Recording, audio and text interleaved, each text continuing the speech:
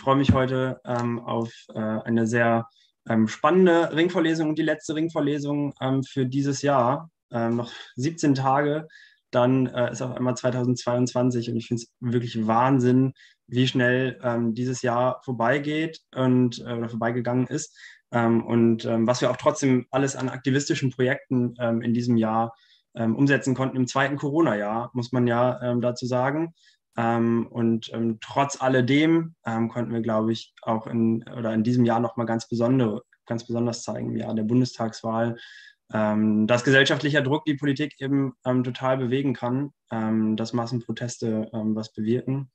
Jetzt haben wir da einen Koalitionsvertrag, in dem zumindest mal der eine fossile Energieträger langsam sein zeitliches segnet ähm, und blicken natürlich ganz gespannt darauf, ähm, wie sich jetzt diese Regierung, die jetzt seit knapp einer Woche im Amt ist, ähm, weiter bewegt und müssen natürlich auch da ähm, wieder ähm, ja, weiß ich, weiter fleißig Druck machen. Ähm, und eines der aktivistischen Projekte, ähm, die natürlich auch dazu gehören, ist gemeinsam mit Wissenschaftlerinnen und Wissenschaftlern aus den verschiedensten ähm, Gebieten über ihre Forschung zu sprechen, zu informieren und zu bilden.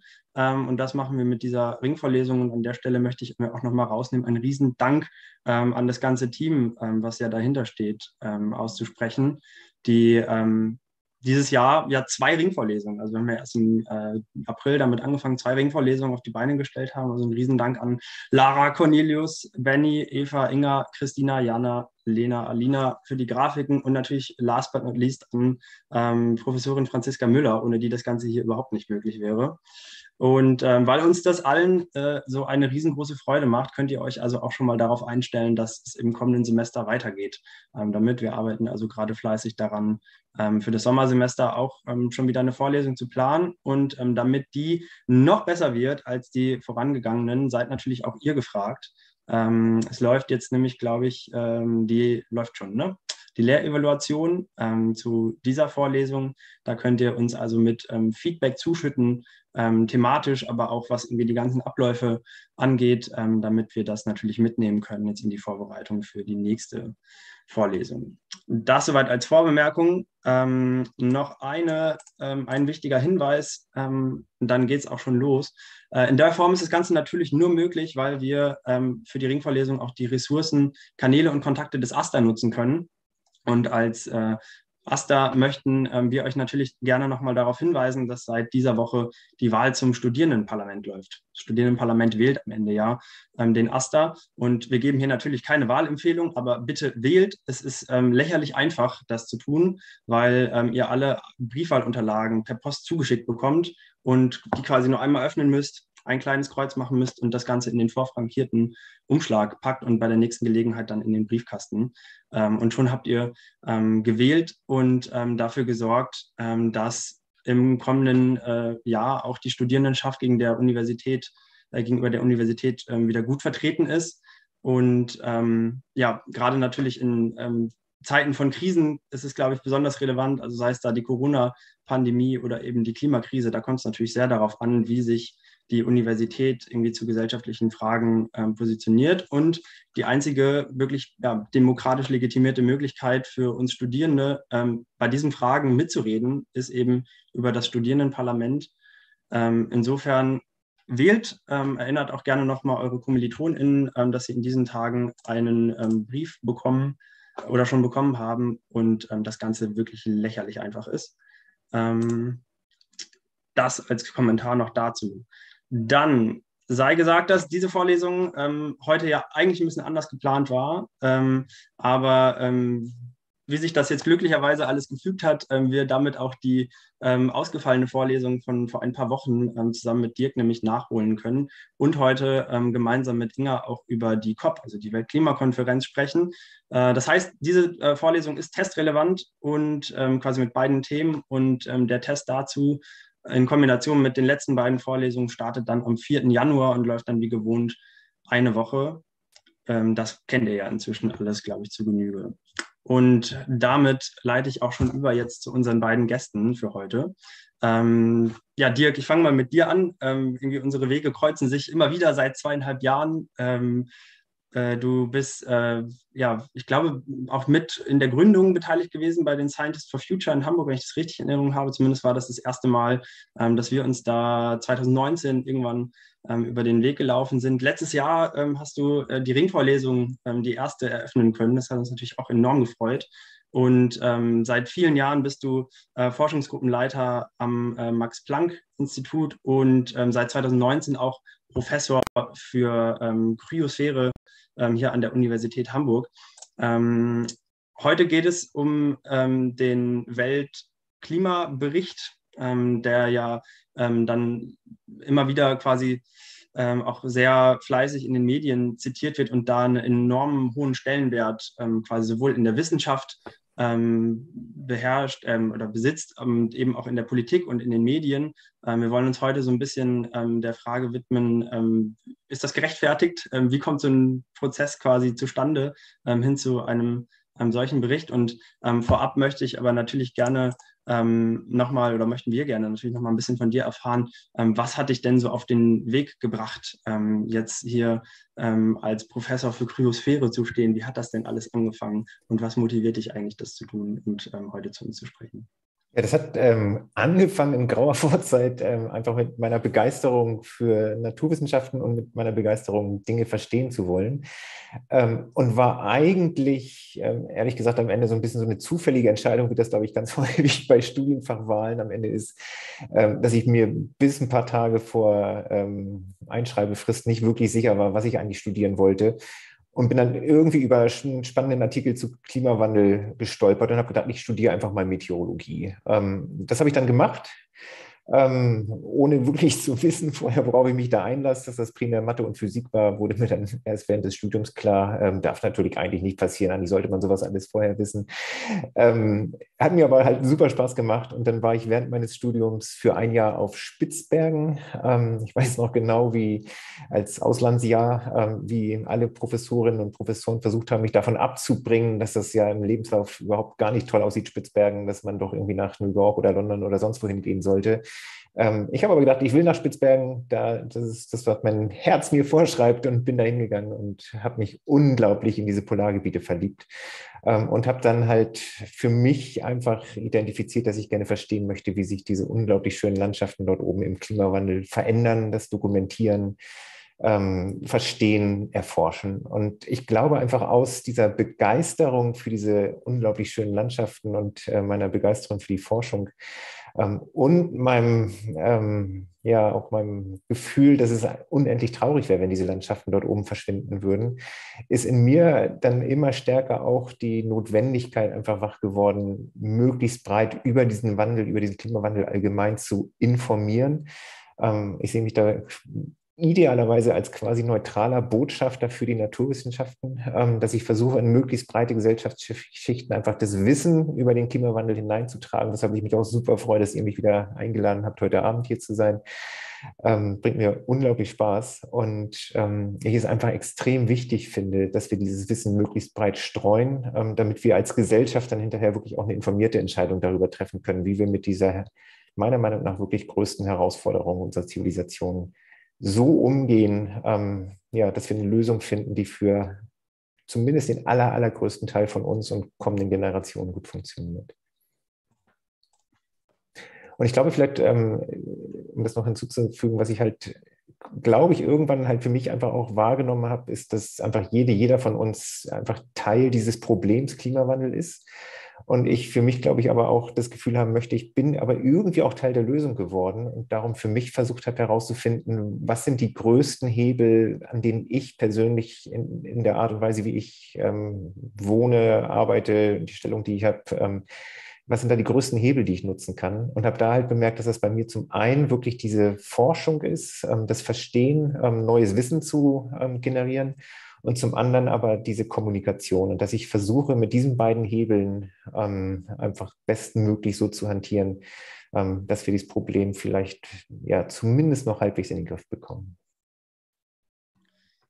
Und ähm, dahingehend äh, trittst du natürlich auch äh, seit ähm, vielen Jahren ähm, quasi so als äh, ja, Bindeglied und, und Wissenschaftskommunikator ähm, auf und ähm, gleichzeitig, das habe ich mich gerade natürlich ähm, vergessen, deshalb ist es natürlich insbesondere auch spannend, ähm, heute mit dir über den ähm, IPCC zu sprechen, bist du natürlich ähm, ja, Top-Klimawissenschaftler und eben, ja, kann man glaube ich so sagen und dementsprechend inzwischen äh, einer der Leitautoren auch des ja, neuen IPCC-Berichts, der jetzt im kommenden Jahr rauskommt. Vielleicht kannst du uns dazu auch gerne nochmal ähm, so vorab so ein paar so, also wie passiert man das, dass man auf einmal quasi im IPCC-Gremium landet? Ähm, kommt da quasi auch so eine Art Anruf aus Stockholm oder wie? das? nee, das läuft ein bisschen anders. Das kann ich gleich auch gerne noch im ähm, Detail erzählen, wie dieser Auswahlprozess funktioniert. Das ähm, ist, glaube ich, sinnvoll, wenn wir das gleich eingliedern, eigentlich in die, die eigentliche Vorstellung, weil genau eigentlich das das Thema heute Abend ähm, sein soll, was ich so ein bisschen einführe. Wie funktioniert eigentlich dieser IPCC-Prozess? Wer macht damit? Wie kommt man da rein? Ähm, da würde ich gleich einfach noch ganz kurz drauf eingehen. Dann machen wir das. Das ist wunderbar. Ähm, dann ähm, möchte ich hier an der Stelle natürlich, damit wir alle wissen, was uns heute erwartet, ähm, nochmal einen kleinen Ausblick ähm, zumindest darauf geben, was wir im, ähm, im zweiten Teil ähm, der Vorlesung machen. Dann diskutieren wir danach einfach äh, zu dritt beziehungsweise mit euren ähm, Fragen dann. Ähm, wir wollen uns heute eben auch anschauen, wie wird denn dann quasi so die wissenschaftliche ähm, ähm, Grundlage ähm, politisch umgesetzt, und zwar auf der allerhöchsten Ebene. Ähm, wir sprechen auch so ein bisschen über die ähm, Weltklimakonferenz, beziehungsweise wird Inga ähm, uns davon berichten. Also ihr kennt Inga ja hier auch aus dem Ringvorlesungsteam. Und ähm, Inga war aber auch dieses Jahr in äh, Glasgow, also vor knapp einem Monat, auf der Klimakonferenz und wird uns von da ein bisschen berichten, so aus der aktivistischen Perspektive natürlich, äh, wie das da vor Ort ähm, funktioniert. Und ähm, dann wollen wir das gemeinsam nochmal abrunden ähm, in der Diskussion. Ich würde aber sagen, dass wir ähm, einfach jetzt ähm, mal straight reinstarten, dann mit deinem Input, deinem Vortrag, Dirk, und dann klären sich auch gleich ganz viele Fragen. Ähm, ihr seid natürlich herzlich eingeladen in der Zwischenzeit. Ihr kennt auch das Spielchen. Ähm, die Fragen über das ähm, QA oder FA-Tool, nachdem ihr euer Zoom eingestellt habt, zu stellen. Die werden im Hintergrund sortiert und dann ähm, später ähm, in der Diskussion ähm, behandelt und dann könnt ihr da natürlich auch nochmal Fragen stellen. So, auf geht's, Dirk. Prima, danke. Genau, und ich, ich kann das, glaube ich, nur noch einmal ganz kurz unterstreichen, was Florian gerade sagte, ähm, dass ich mich mit Inga darauf verständigt habe, ähm, dass wir wirklich heute den Schwerpunkt gern bei der Diskussion setzen wollen. Also, dass eigentlich unsere beiden Teile eher so eine Art wirklich Input sind und aber dass viel Material dann hinterher in der Diskussion bestimmt noch besprochen wird. Darum, eure Fragen sind wirklich zentral für das Gelingen des heutigen Abends. Ähm, aber fangen wir einfach mal an. Ähm, Thema heute ähm, in den ersten ja, grob 20 Minuten oder so soll sein IPCC und dann halt wirklich ein Blick in den Maschinenraum. Ähm, ich habe die letzten äh, drei Jahre einen sehr, sehr, sehr großen Teil meiner Zeit damit zugebracht, den ähm, am Weltklimareport ähm, IPCC-Bericht mitzuschreiben. Ähm, der ist jetzt der erste Teil davon, an dem ich zentral mit beteiligt war, im August veröffentlicht worden. Ähm, und es war wirklich eine unglaublich intensive, spannende Erfahrung. Um, und ich möchte heute einfach gerne ein bisschen darüber sprechen, was man da eigentlich so macht, wie es dazu kommt, wie dieser ganze Prozess abläuft. Und äh, es kann sein, dass es einfach hilfreich ist. Ähm, darum sage ich einfach mal, was euch so ein bisschen erwartet. Ähm, und zwar habe ich das gegliedert ähm, anhand dessen, was wir möglicherweise hinterher diskutieren könnten. Und zwar zum ersten vielleicht, dass wir darüber sprechen könnten oder dass dazu Fragen kommen, wie eigentlich die Autorinnen und Autoren dieser Berichte ausgewählt werden. Das zweite dann, wie das praktisch eigentlich funktioniert, wie arbeitet man zusammen. Ähm, das dritte, ein ganz zentrales Thema bei den ganzen Diskussionen, die wir auch innerhalb der Autorinnen-Teams dann haben, ist, was machen wir mit Unsicherheiten, wie kommunizieren wir die?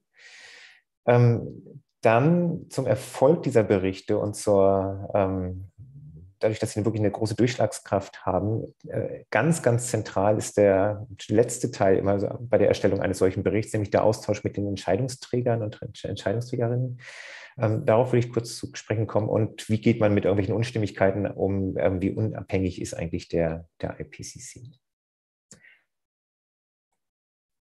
Ganz kurz ähm, sozusagen die offizielle, offizielle Definition, was ist eigentlich der IPCC? der IPCC an sich ist nicht unbedingt irgendeine wissenschaftliche Einrichtung, sondern es ist ein Ausschuss, ein zwischenstaatlicher Ausschuss für Klimawandel, ähm, der das Ziel hat, den wissenschaftlichen Kenntnisstand zum Klimawandel zu bewerten.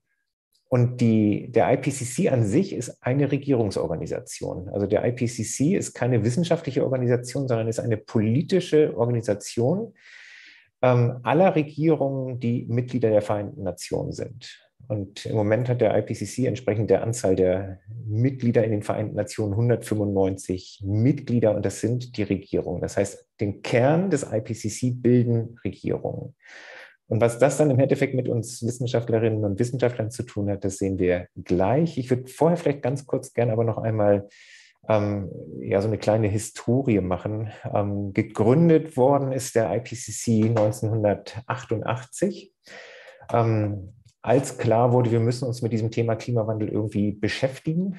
Ähm, und zwar als ähm, wurde der IPCC gegründet von der Weltmeteorologieorganisation WMO ähm, und dem Umweltprogramm der Vereinten Nationen. Und dann gab es vom IPCC in Auftrag gegeben und erstellt dann immer sogenannte Sachstandsberichte, also Berichte, die den aktuellen Kenntnisstand zum Klimawandel zusammenfassen. Ähm, die sind hier oben mit ihren Abkürzungen einmal aufgeführt. Ähm, hier unten stehen dann jeweils die Jahreszahlen. Das fing an dann mit dem First Assessment Report, dem ersten Weltklimabericht. Dann kam logischerweise der Second Assessment Report. Äh, wir hatten jetzt 1990, 1995. Dann 2001 kam der Third Assessment Report. Und dann fiel den Menschen die Abkürzung erfinden irgendwann auf, dass, ähm, wenn sie bei vier ankommen, das Ding wieder FAR heißen würde. Darum hat man dann beschlossen, dann nennen wir das Ding jetzt mal AR4 im Jahr 2007, dann kam AR5 2013 und jetzt ähm, sind wir im Zeitraum von AR6, wo jetzt der erste Teil in diesem Jahr 2021 ähm, erschienen ist. Auch Teil von diesem sechsten Bericht sind zwei, äh, drei Sonderberichte. Ähm, einmal ein Sonderbericht zum 1,5 Grad Ziel, ähm, der SR 1.5, ein Sonderbericht zum Ozean und zur Kryosphäre und ein ähm, Sonderbericht zu Prozessen, die im Land passieren. Und diese Berichte bilden eigentlich das Kernergebnis der Arbeit des IPCC. Ähm, parallel dazu ist hier noch aufgeführt, welche wichtigen politischen Weichenstellungen es gab, zum Beispiel das ähm, Kyoto-Protokoll, ähm, den Beschluss, dass es ein Zwei-Grad-Ziel geben soll, grundsätzlich ähm, das Paris Agreement, ähm, dieses Jahr dann halt die Konferenz in Glasgow. 2007 bekam dann der IPCC zusammen mit, dem, äh, mit Al Gore den äh, Friedensnobelpreis für seine Arbeit. Ähm, das heißt, es, den, den, IPCC gibt es seit ähm, über 30 Jahren ähm, und die Hauptergebnisse dieser Arbeit sind halt diese Berichte gewesen. Aber wie sieht das im, im Innern aus vom, vom IPCC? Ähm, wenn wir uns einmal ganz kurz die Struktur anschauen, ähm, dann ist es halt gegründet, wie wir gesehen hatten, sozusagen von der Weltmeteorologieorganisation und dem Umweltprogramm der Vereinten Nationen. Und das zentrale ähm, Entscheidungsgremium des IPCC ist das IPCC Plenary, ähm, wo halt die Vertreterinnen und Vertreter aller 195 Mitgliedsnationen vertreten sind ähm, und sozusagen als äh, im Plenum beschließen, was das nächste Ziel sein soll, was die Inhalte des nächsten Berichts sein sollen, etc. Das ist ähm, sozusagen formal ähm, das entscheidende ähm, Gremium im IPCC. In der Praxis, ähm, möglicherweise von, für, für, das Tagesgeschäft von viel, viel größerer Relevanz ist das sogenannte IPCC-Büro, Bureau, ähm, oder im, wenn man im IPCC drin ist, einfach nur The Bureau. Ähm, immer wenn irgendwelche wirklich relevanten, wichtigen Fragen auftraten, dann musste man The Bureau fragen. Und dieses ähm, IPCC-Büro, ähm, wie es heißt, das wird gewählt von den ähm, Mitgliedern der, ähm, des Plenums. Und ähm, da drin sind vertreten der, der jeweils Vorsitzende des IPCC, ähm, die Vorsitzende der jeweiligen Arbeitsgruppen, die es gibt, die stellvertretenden Vorsitzenden der Arbeitsgruppen. Und die es sind alles erfahrene, großteils erfahrene Wissenschaftlerinnen und Wissenschaftler in erster Linie, die den Prozess schon seit vielen Jahren zum Beispiel als Autorinnen und Autoren kennengelernt haben und dann halt irgendwann ähm, ins Büro gewählt worden sind. Ähm, darunter gibt es noch das ähm, Exekutivkomitee, ähm, das eine ähnliche Aufgabe eigentlich hat, auch wie das Büro so ein bisschen beratend ähm, das Tagesgeschäft zu betreuen. Aber in der Praxis für uns war halt dieses Büro hier viel, viel wichtiger. Ähm, und dann gibt es verschiedene Arbeitsgruppen. Ähm, ich war Teil der Arbeitsgruppe 1, ähm, die sich damit beschäftigt, die naturwissenschaftlichen Grundlagen des Klimawandels zu bewerten. Ähm, die Arbeitsgruppe 2 ähm, die beschäftigt sich mit Anpassungsmaßnahmen, Anpassungsmöglichkeiten, Verwundbarkeit, Risiken und so weiter. Und die Arbeitsgruppe 3 beschäftigt sich damit, wie wir den Klimawandel möglicherweise verlangsamen oder gar noch, noch stoppen können. Und jetzt neu dazugekommen ist eine Taskforce, ähm, die sich anschaut, was einzelne Länder noch an Greenhouse, äh, an Treibhausgasen freisetzen und wie das entsprechend bewertet wird. Und jeder dieser Arbeitsgruppen zugeordnet, auch das zent ganz zentral im Tagesgeschäft ist eine sogenannte TSU, eine Technical Support Unit, ähm, die zum Beispiel dann unterstützt bei allen möglichen Fragen zur Technik, ähm, sei es, wo die Dokumente online sind, wie man irgendwelche Grafiken erstellt, wie man irgendwas formulieren soll, etc. Genau, und in diesen Arbeitsgruppen sind dann halt verschiedene ähm, Autorinnen, ähm, Gutachterinnen etc. angesiedelt. Soweit zur Struktur. Ähm, wie kommt jetzt aber ein solcher Bericht zustande und wie wird man dann zum Beispiel auch Autor? Ähm, das ist ein sehr, sehr, sehr langer Prozess, ähm, bis ein solcher Bericht fertig ist. Das ist hier einmal in der Gesamtschau in klein gezeigt. wir können ja mal oben links in der Ecke anfangen. Das Erste, was passiert, ist, dass das IPCC-Plenum, also diese Regierungsgruppe, dass die beschließt, wir hätten gern einen Bericht zu einem bestimmten Thema, zum Beispiel nach der im Pariser Klimaabkommen steht drin, ähm, dass der IPCC bitte einen Sonderbericht zum 1,5 Grad Ziel erstellen soll. Und ähm, ein solcher Bericht wird dann beauftragt und dann wird zunächst mit Wissenschaftlerinnen und Wissenschaftlern, die von den Regierungen eingesetzt werden, ähm, der Inhalt dieser Berichte ganz grob skizziert, festgelegt. Ähm, da sind dann zum Beispiel auch NGOs beteiligt, da sind die Regierung mit beteiligt, ähm, wo im Prinzip bei unserem Bericht zum Beispiel festgelegt wurde, wie viele Kapitel soll dieser Bericht haben und was sind grob die Themen, die in den einzelnen Kapiteln behandelt werden sollen.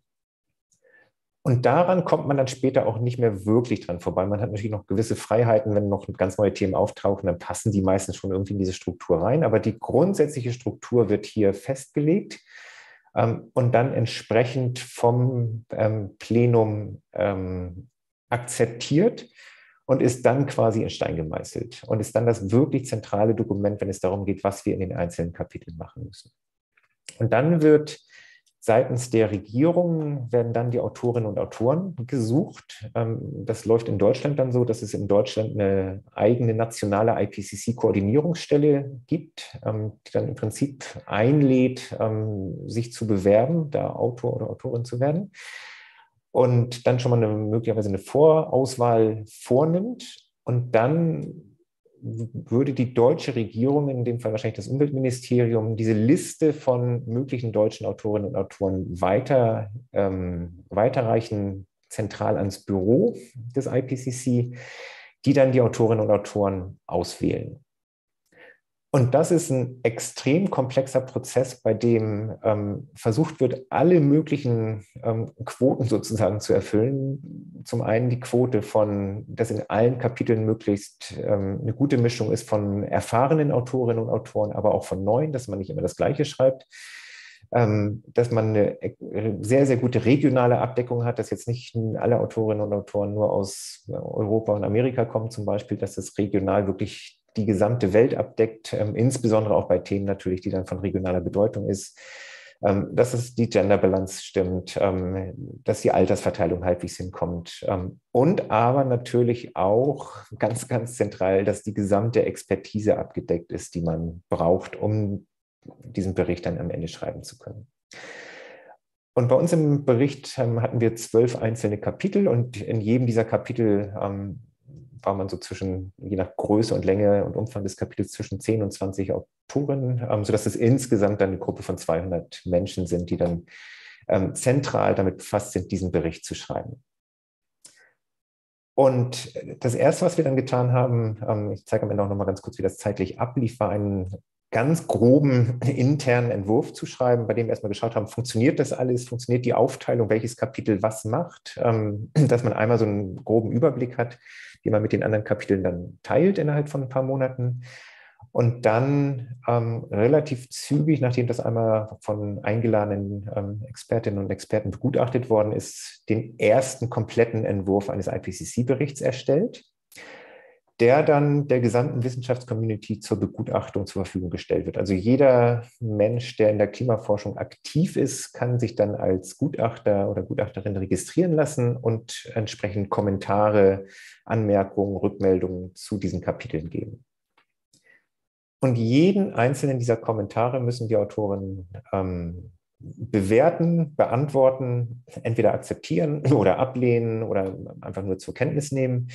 Ähm, wenn das einfach nur eine Anmerkung ist, finde ich super. Dann nehmen wir das freudestrahlend zur Kenntnis. Und diese Kommentare und unsere Antworten darauf werden alle hinterher veröffentlicht. Das heißt, man kann bei jedem Kommentar nachvollziehen, warum wir den entweder aufgenommen haben oder mit welcher Begründung wir das entsprechend abgelehnt haben.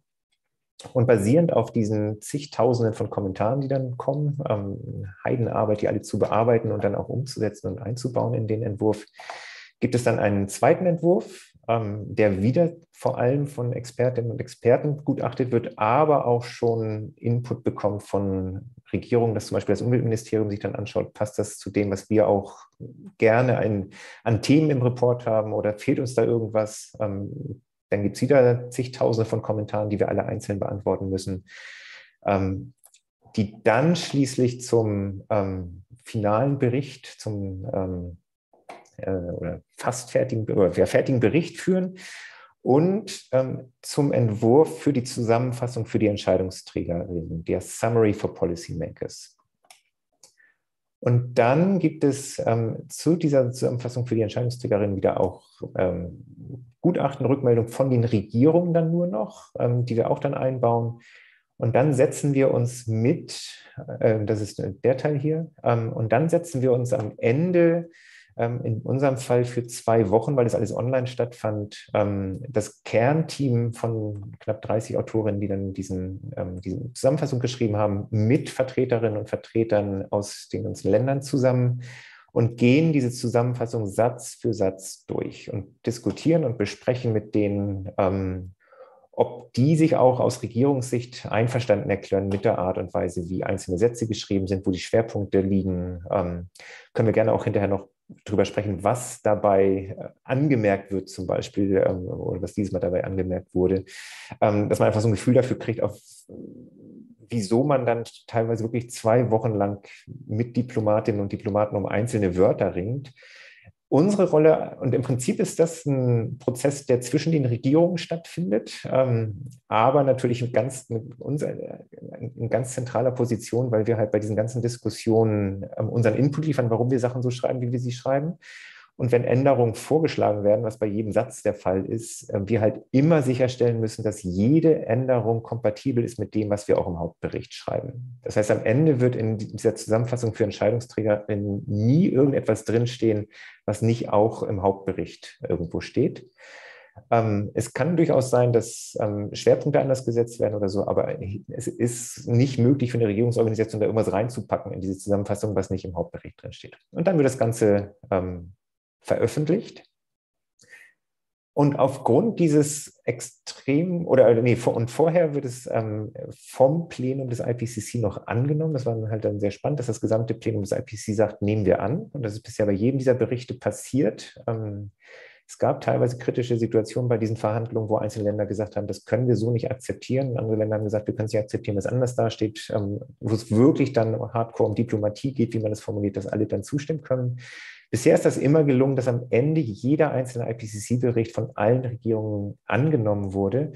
Was dann auch bedeutet, dass ähm, zum Beispiel bei einer Klimakonferenz wie jetzt der in Glasgow ähm, dieser Bericht genommen werden kann als Grundlage für die Verhandlungen. Weil man immer wieder sagen kann, alle Regierungen haben dem zugestimmt. Das ist der bestmögliche Stand der Wissenschaft, des Kenntnisstandes weltweit von Tausenden von Gutachterinnen, Zehntausenden von Kommentaren, Hunderte von Autoren zusammengetragen. Das ist das, was wir über den Klimawandel wissen. Komplett transparenter Prozess. Alles ist hinterher öffentlich.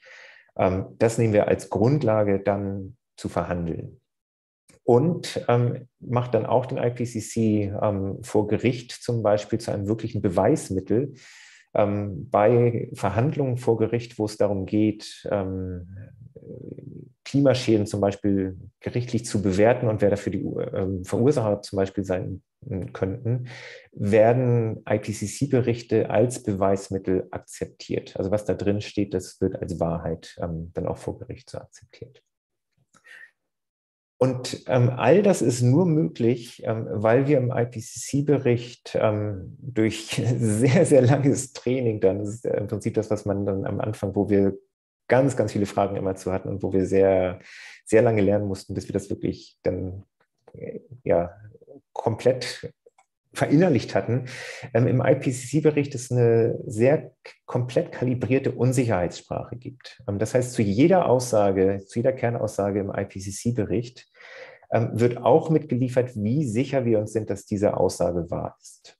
Ähm, das höchste Level von Unsicherheitssprache ist, dass wir keine Unsicherheit mehr kommunizieren, sondern dass wir Sachen als Tatsache formulieren der Mensch ist Hauptverursacher für den derzeit stattfindenden Klimawandel. Punkt. Da ist keinerlei Unsicherheit mehr da, ähm, weil es naturwissenschaftlich geklärt ist.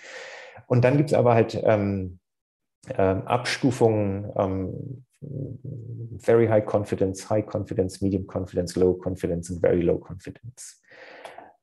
Und zu welcher Einschätzung wir jetzt für eine bestimmte Aussage kommen, ähm, das hängt davon ab, zum einen, wie viele ähm, Belege es für eine bestimmte ähm, Aussage gibt.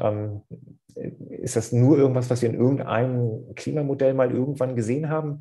Oder zeigen das eigentlich alle Klimamodelle und wir sehen es auch in den Beobachtungen und wir sehen es auch in Rekonstruktionen aus der letzten Eiszeit und wir verstehen es auch konzeptionell? Dann wären wir halt ganz weit rechts, weil wir dann eine robuste ähm, Beweislage haben und also oder viele verschiedene ähm, Stränge haben, die wir nutzen können. Und dann das zweite Kriterium ist, wie sehr diese verschiedenen Stränge übereinstimmen. Ähm, also das Beste, was einem passieren kann, ist, wenn im Prinzip egal wo wir hinschauen, immer das Gleiche raus, äh, egal wo wir hinschauen, es viele Möglichkeiten gibt, irgendwo hinzuschauen und immer das Gleiche rauskommt. Und so ist es zum Beispiel mit der menschengemachten Klimaerwärmung, egal wo wir hinschauen, naturwissenschaftlich, ähm, egal welches, welche Methode wir nutzen, wir kommen immer wieder zu dem Ergebnis, der Mensch ist Hauptverursacher für den jetzigen Klimawandel. Deshalb wir da eine extrem ähm, große Sicherheit haben, dass wir das sagen können. Und dann gibt es aber halt andere Bereiche, wo wir zum Beispiel nur zwei Modellsimulationen haben, ähm, die zum Beispiel ähm, eine extrem ähm, äh, starke ähm, Instabilität im antarktischen Eisschild vorschlagen, dass es sein könnte. Ähm, dass das antarktische Eisschild ähm, deutlich instabiler ist als bisher gedacht. Aber weil es da halt bisher nur sehr, sehr wenige Studien gibt, wäre das dann zum Beispiel etwas, wo wir dann sagen würden, there is low confidence that, das dann entsprechend bewerten. Dass man beim Lesen auch jederzeit weiß, ist man sich da sicher oder gibt es da entsprechende Unsicherheiten? Und zusätzlich zu dieser Unsicherheitssprache ähm, gibt es dann auch noch eine Wahrscheinlichkeitsskala, die wir immer dann benutzen können, wenn wir grundsätzlich ähm, eine hohe Sicherheit haben, dass irgendwas passiert. Und die Sicherheit sogar so hoch ist, dass wir sagen, wir sind in der Lage zu quantifizieren, wie wahrscheinlich irgendwas passieren wird. Und dafür gibt es dann halt auch die kalibrierte Wahrscheinlichkeitsskala, ähm, dass wie wahrscheinlich es ist, zum Beispiel, dass die Klimaerwärmung in einem bestimmten Szenario unter anderthalb Grad bleibt, ähm, wie unwahrscheinlich es ist, dass wir in 40 Jahren noch mehr als in der Arktis haben, etc. im Sommer. Ähm, all das sind, ähm, ist auch eine kalibrierte Sprache. Das heißt, wir brauchen, wenn wir diese Wahrscheinlichkeitsskala nutzen wollen, irgendwie die Möglichkeit, die Wahrscheinlichkeiten zu quantifizieren, zum Beispiel aus Modellsimulationen oder ähnlichem. Das heißt, wenn man den IPCC-Bericht dann liest, dann liest sich das am Anfang immer so ein bisschen sperrig vielleicht, weil halt immer dieses virtually certain auftaucht oder low, there's low confidence that. Ähm, und das macht aber halt, wenn man sich da erstmal so ein bisschen dran gewöhnt hat, die wirkliche Stärke dieses Berichts aus, weil halt ganz klar unterschieden wird zwischen Aussagen, die wir mit extrem hoher Sicherheit treffen können und solchen, die halt sehr unsicher noch sind. Genau, wie sieht das jetzt bei uns konkret, äh, sah das bei uns konkret aus von der, vom zeitlichen Ablauf her? Ähm, das war also vom IPCC der sechste Sachstandsbericht, Arbeitsgruppe 1. Das fing an 2018. Ähm, Im Sommer haben wir uns das erste Mal getroffen in Guangzhou in China. Ähm, und bei diesem ersten Leitautoren-Treffen ging es in erster Linie darum, zwischen den verschiedenen Kapiteln abzustimmen, ähm, welches Kapitel welchen, welche Inhalte füllt, ähm, weil wir verschiedene Kapitel hatten, die zum Beispiel ähnliche Sachen möglicherweise hätten machen können. Wir hatten zum Beispiel die ersten, ähm, das zweite, dritte und vierte Kapitel des Berichts ähm, haben sich beschäftigt mit ähm, Beobachtungen, ähm, Attribution, das heißt, ist irgendwas menschengemacht oder nicht, und mit Prognosen für die Zukunft. Ähm, sozusagen als, als ja, Schirm über, um das Ganze, als Klammer um das Ganze. Und in dem Kapitel, in dem ich aktiv war, wo es um Ozeane und Kryosphäre und Eis also ging, haben wir natürlich auch Beobachtungen und Modellierungen ähm, oder Modellergebnisse benutzt. Und da jetzt zu schauen, welche Teile von Beobachtungen und Modellergebnissen werden in den ersten Kapiteln gemacht, welche werden bei uns gemacht, ähm, all das wurde bei diesem ersten Treffen festgelegt. Und was da halt von der Gruppendynamik halt sehr lustig ist, wie man im Prinzip nach einem Tag ähm, sich komplett in seinem Kapitel verortet und wie dann auch, ähm, wenn man sich miteinander unterhält, eigentlich die Kapitelzahl im Prinzip ähm, die Identifikation ist. Also es geht null darum, aus welchem Land irgendjemand kommt, welche Erfahrung irgendjemand hat, ähm, wie alt, jung, welches Gender. Es geht einfach nur darum, bis, ich bin Kapitel 7, du bist Kapitel 9, ähm, wir können uns unterhalten. Und man weiß sofort sozusagen, wie, wo die, der andere Mensch dann ähm, quasi einzuordnen ist. Also das, die Heimat, die man hat beim Arbeiten an diesem IPC-Bericht, ist das eigene Kapitel. Ähm, mit dem man sich auch einfach auch unglaublich oft dann trifft. Also wir hatten ähm, im Prinzip zwei Jahre lang jede Woche zweimal ähm, eine Videokonferenz, dann immer je nach Zeitzone einmal ganz früh morgens in Europa, einmal abends in Europa, dass halt dann auch die Menschen aus Neuseeland oder aus Amerika dann ähm, jeweils mindestens an einem dieser Treffen teilnehmen konnten. Genau, und das wurde halt bei diesem ersten Treffen dann deutlich dieses, ähm, äh, diese Heimat in den Kapiteln, was einzelne Kapitel machten. Im Juni 2018. Im Oktober haben wir dann den internen Entwurf ähm, abgegeben, ähm, der dann geprüft und mit Kommentaren an uns zurück geschickt wurde.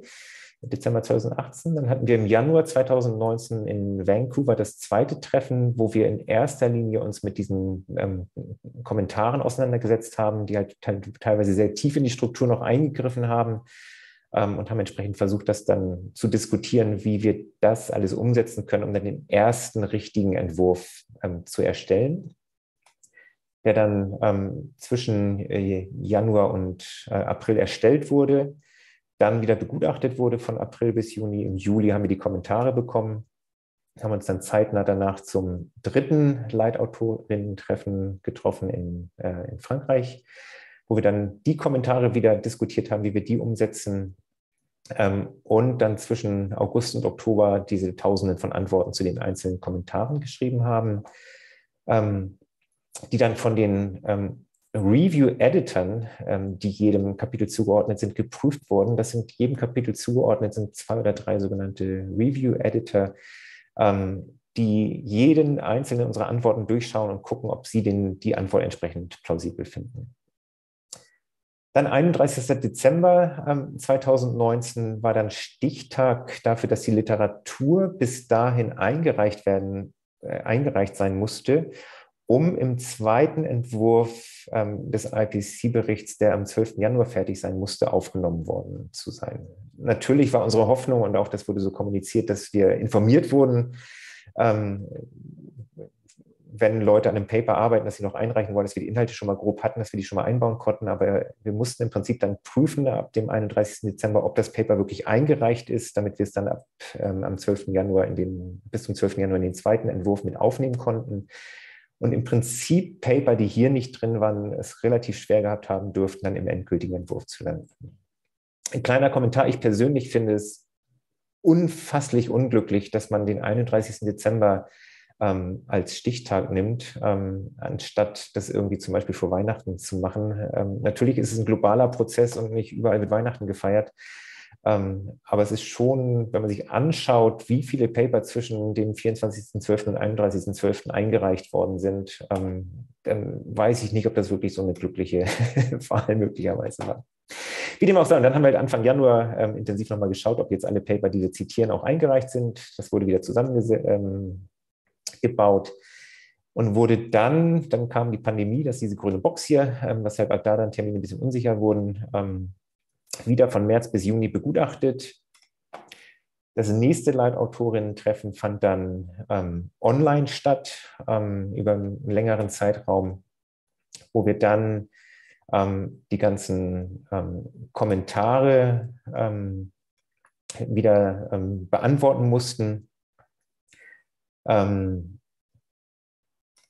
ganze Jahr über den endgültigen Bericht dann miterstellt haben und dann ähm, am 31. Januar 2021 halt dann der Stichtag war, dass bis dahin das Paper wirklich auch akzeptiert sein musste. Und wenn es das dann war, ähm, dann wurde ähm, entsprechend im März ähm, der endgültige Bericht abgegeben. Ähm, die Entscheidungszusammenfassung für Entscheidungsträger wurde im April ähm, abgegeben und dann an die Regierungen verteilt. Die konnten zwischen April und Juni dann nochmal Kommentare dazu abgeben. Ähm, diese Kommentare wurden zwischen Juni und Juli dann nochmal ähm, eingebaut und dann, hier steht noch eine Woche, es waren aber am Ende zwei Wochen, fand dann ähm, diese Sitzung statt, wo wir mit Regierungsvertreterinnen zusammen jeden Satz dieser Zusammenfassung für Entscheidungsträger durchgegangen sind, ähm, bis sie dann entsprechend dann Anfang Jan, ähm, August angenommen wurde. Und das ist dann alles nur ähm, die Arbeit an der Arbeitsgruppe 1 gewesen. Parallel dazu ähm, liefen Arbeiten oder laufen jetzt noch Arbeiten in Arbeitsgruppe 2 und 3. Ähm, die laufen so ein bisschen versetzt, weil zum Beispiel in der Arbeitsgruppe, die sich mit Schäden und ähm, Verletzlichkeiten von einzelnen Regionen ähm, beschäftigt, natürlich wichtig ist, was sind die naturwissenschaftlichen Grundlagen, auf denen wir das basieren lassen. Ähm, das heißt, die kommen, diese zweite und dritte Teil dieses ähm, AR6, die kommen im nächsten Jahr raus. Und ganz am Ende steht dann auch ein sogenannter Synthesebericht, wo halt die Ergebnisse aus allen drei Arbeitsgruppen nochmal zusammengeführt werden. Und das soll es auch erstmal von mir gewesen sein, ganz grob als Überblick dessen, wie so ein IPCC-Bericht ähm, zustande kommt. Ähm, weitere Details, Diskussionen werden wir dann sicher gleich noch haben. Aber ich würde es gerne erstmal dabei belassen und dann jetzt auch direkt an Inga äh, weitergeben, die dann ein bisschen berichtet, wie dann basierend auf diesen ähm, Ergebnissen dann in Glasgow ähm, verhandelt wurde und äh, Aktivismus äh, auf its Best gezeigt wurde. Inga, danke. Ja, vielen Dank, äh, Dirk, für deinen Vortrag. Ich fand es gerade super spannend, auch nochmal jetzt eine ganz andere Perspektive darauf zu bekommen, ähm, gerade wenn man bei dieser Klimakonferenz war. Ähm, Okay, jetzt weiß ich auch mal, wie das ist, ins Nichts zu reden, weil alle ihre Kameras aushaben. Okay, ich glaube, ihr müsstet aber alles sehen. Ähm, vielleicht vorab, hallo, ich bin Inga. Ähm, ihr kennt mich vielleicht, ich bin auch hier im AStA aktiv und bei Fridays for Future in Hamburg und war ähm, zusammen mit auch noch ein paar anderen, die hier auch sind, also auch mit Flo, der hier moderiert, mit Eva, mit Annika zusammen bei der Klimakonferenz in Glasgow im November. Und ähm, Genau, ich würde einfach mal ein bisschen erzählen, wie wir das Ganze so wahrgenommen haben, wie ich das Ganze wahrgenommen habe und dann ähm, weiter darauf eingehen, was dann auch die Resultate bei dieser Klimakonferenz waren, äh, was dabei rausgekommen ist. Und äh, ja, was uns das alles aussagt, wenn wir gerade gehört haben, dass der IPCC ähm, sogar von den RegierungsvertreterInnen abgesegnet wird, äh, dass sie das alle schon auch gesehen haben, was da drin steht und was da im Endeffekt dann aber im politischen Handeln bei rauskommt. Ähm, genau. Dann starten wir mal. Und zwar war der Slogan der Klimakonferenz dieses Jahr Uniting the World to Tackle Climate Change, also die Welt vereinigen, um den Klimawandel anzugehen. Ähm, da spreche ich aus meiner Aktivistin-Sicht natürlich, dass äh, es auch schon irgendwie bezeichnet ist, dass selbst die COP immer noch von Klimawandel spricht und noch kein anderes Framing für dieses Wort gefunden hat. Aber das ist vielleicht auch noch meine eigene Ansichtssache. Mm, genau, vielleicht erstmal ein paar Fakten. Also die COP26 war die 26. UN-Weltklimakonferenz. Wer hätte das gedacht? Ähm, sie fand statt vom 31.10. bis zum 12.11. Ähm, in Glasgow, in Schottland. Und ähm, eigentlich sollte die schon letztes Jahr dort stattfinden, 2020, aber aufgrund der Pandemie ist sie ausgefallen. Äh, da wurde auch nicht, über, nicht viel über ein digitales Treffen gesprochen, sondern ähm, ja, da hat man es einfach ins nächste Jahr verlegt. Ähm, außerdem war das das 16. Treffen äh, des Kyoto-Protokolls und das fünfte Treffen nach dem Pariser Klimaabkommen. Mhm, gut, ich gucke gerade. Ähm, Genau, jede COP wird immer in einer Partnerschaft mit einem anderen Land veranstaltet. Dieses Jahr war das zusammen mit Italien und ähm, zu jeder COP wird ein Präsident oder eine Präsidentin gewählt, ähm, meistens einer der RegierungsvertreterInnen ähm, oder genau des jeweiligen äh, Gastlandes. Diesmal war es Alok Sharma, der auch Staatssekretär für Wirtschaft, Energie und Industriestrategie ist. Und es gab dieses Jahr ca. 25.000 Teilnehmende. Ich habe da unterschiedliches gehört von äh, weniger als sonst bis so viele wie noch nie. Ähm, ich bin mir da selber nicht so ganz sicher. Es waren auf jeden Fall eine Menge Leute, die dort waren. Ähm, und was vielleicht auch zu sagen ist, dass die ähm, Klimakonferenz wieder in Europa stattgefunden hat. Eigentlich sollten sich die Kontinente da abwechseln, aber aus unterschiedlichsten Gründen ähm, ja, hat es diesmal wieder in Europa stattgefunden. Ja, jetzt würde ich erst euch mal ein bisschen zeigen, wie die COP überhaupt von innen so aussieht. Dazu gibt es einen Lageplan, den äh, habe ich auch aus der, von der Website der COP selbst geklaut. Und zwar, seht ihr meine Maus? Ich hoffe schon. Ähm, kommt man hier rein, im dunkelblauen Teil unten rechts. Und dort dieser orangene Ball, das ist der Action Hub. Da haben wir uns auch viel äh, aufgehalten. Und ähm, genau, da verbringt man irgendwie seinen Tag. Da sind Tische, da ist WLAN äh, und man kann da irgendwie rumsitzen, Sachen planen. Da sitzen ganz viele Menschen an ihren Computern und äh, planen ihre Dinge. Das sind vor allem, ist vor allem der Raum für Menschen, die nicht der Regierung oder den Regierungen angehören. Mm, wenn man dann hier weiter reingeht, kommt man zu einem Ort äh, dort rechts. Da sind ganz viele Pavillons äh, der ganzen Länder ausgestellt. Also ganz viele Länder, nicht alle, ähm, haben dort einen eigenen Pavillon, wo die irgendwas von sich ausstellen können, wo die RegierungsvertreterInnen des jeweiligen Landes auch, Landes auch auftauchen und äh, so weiter.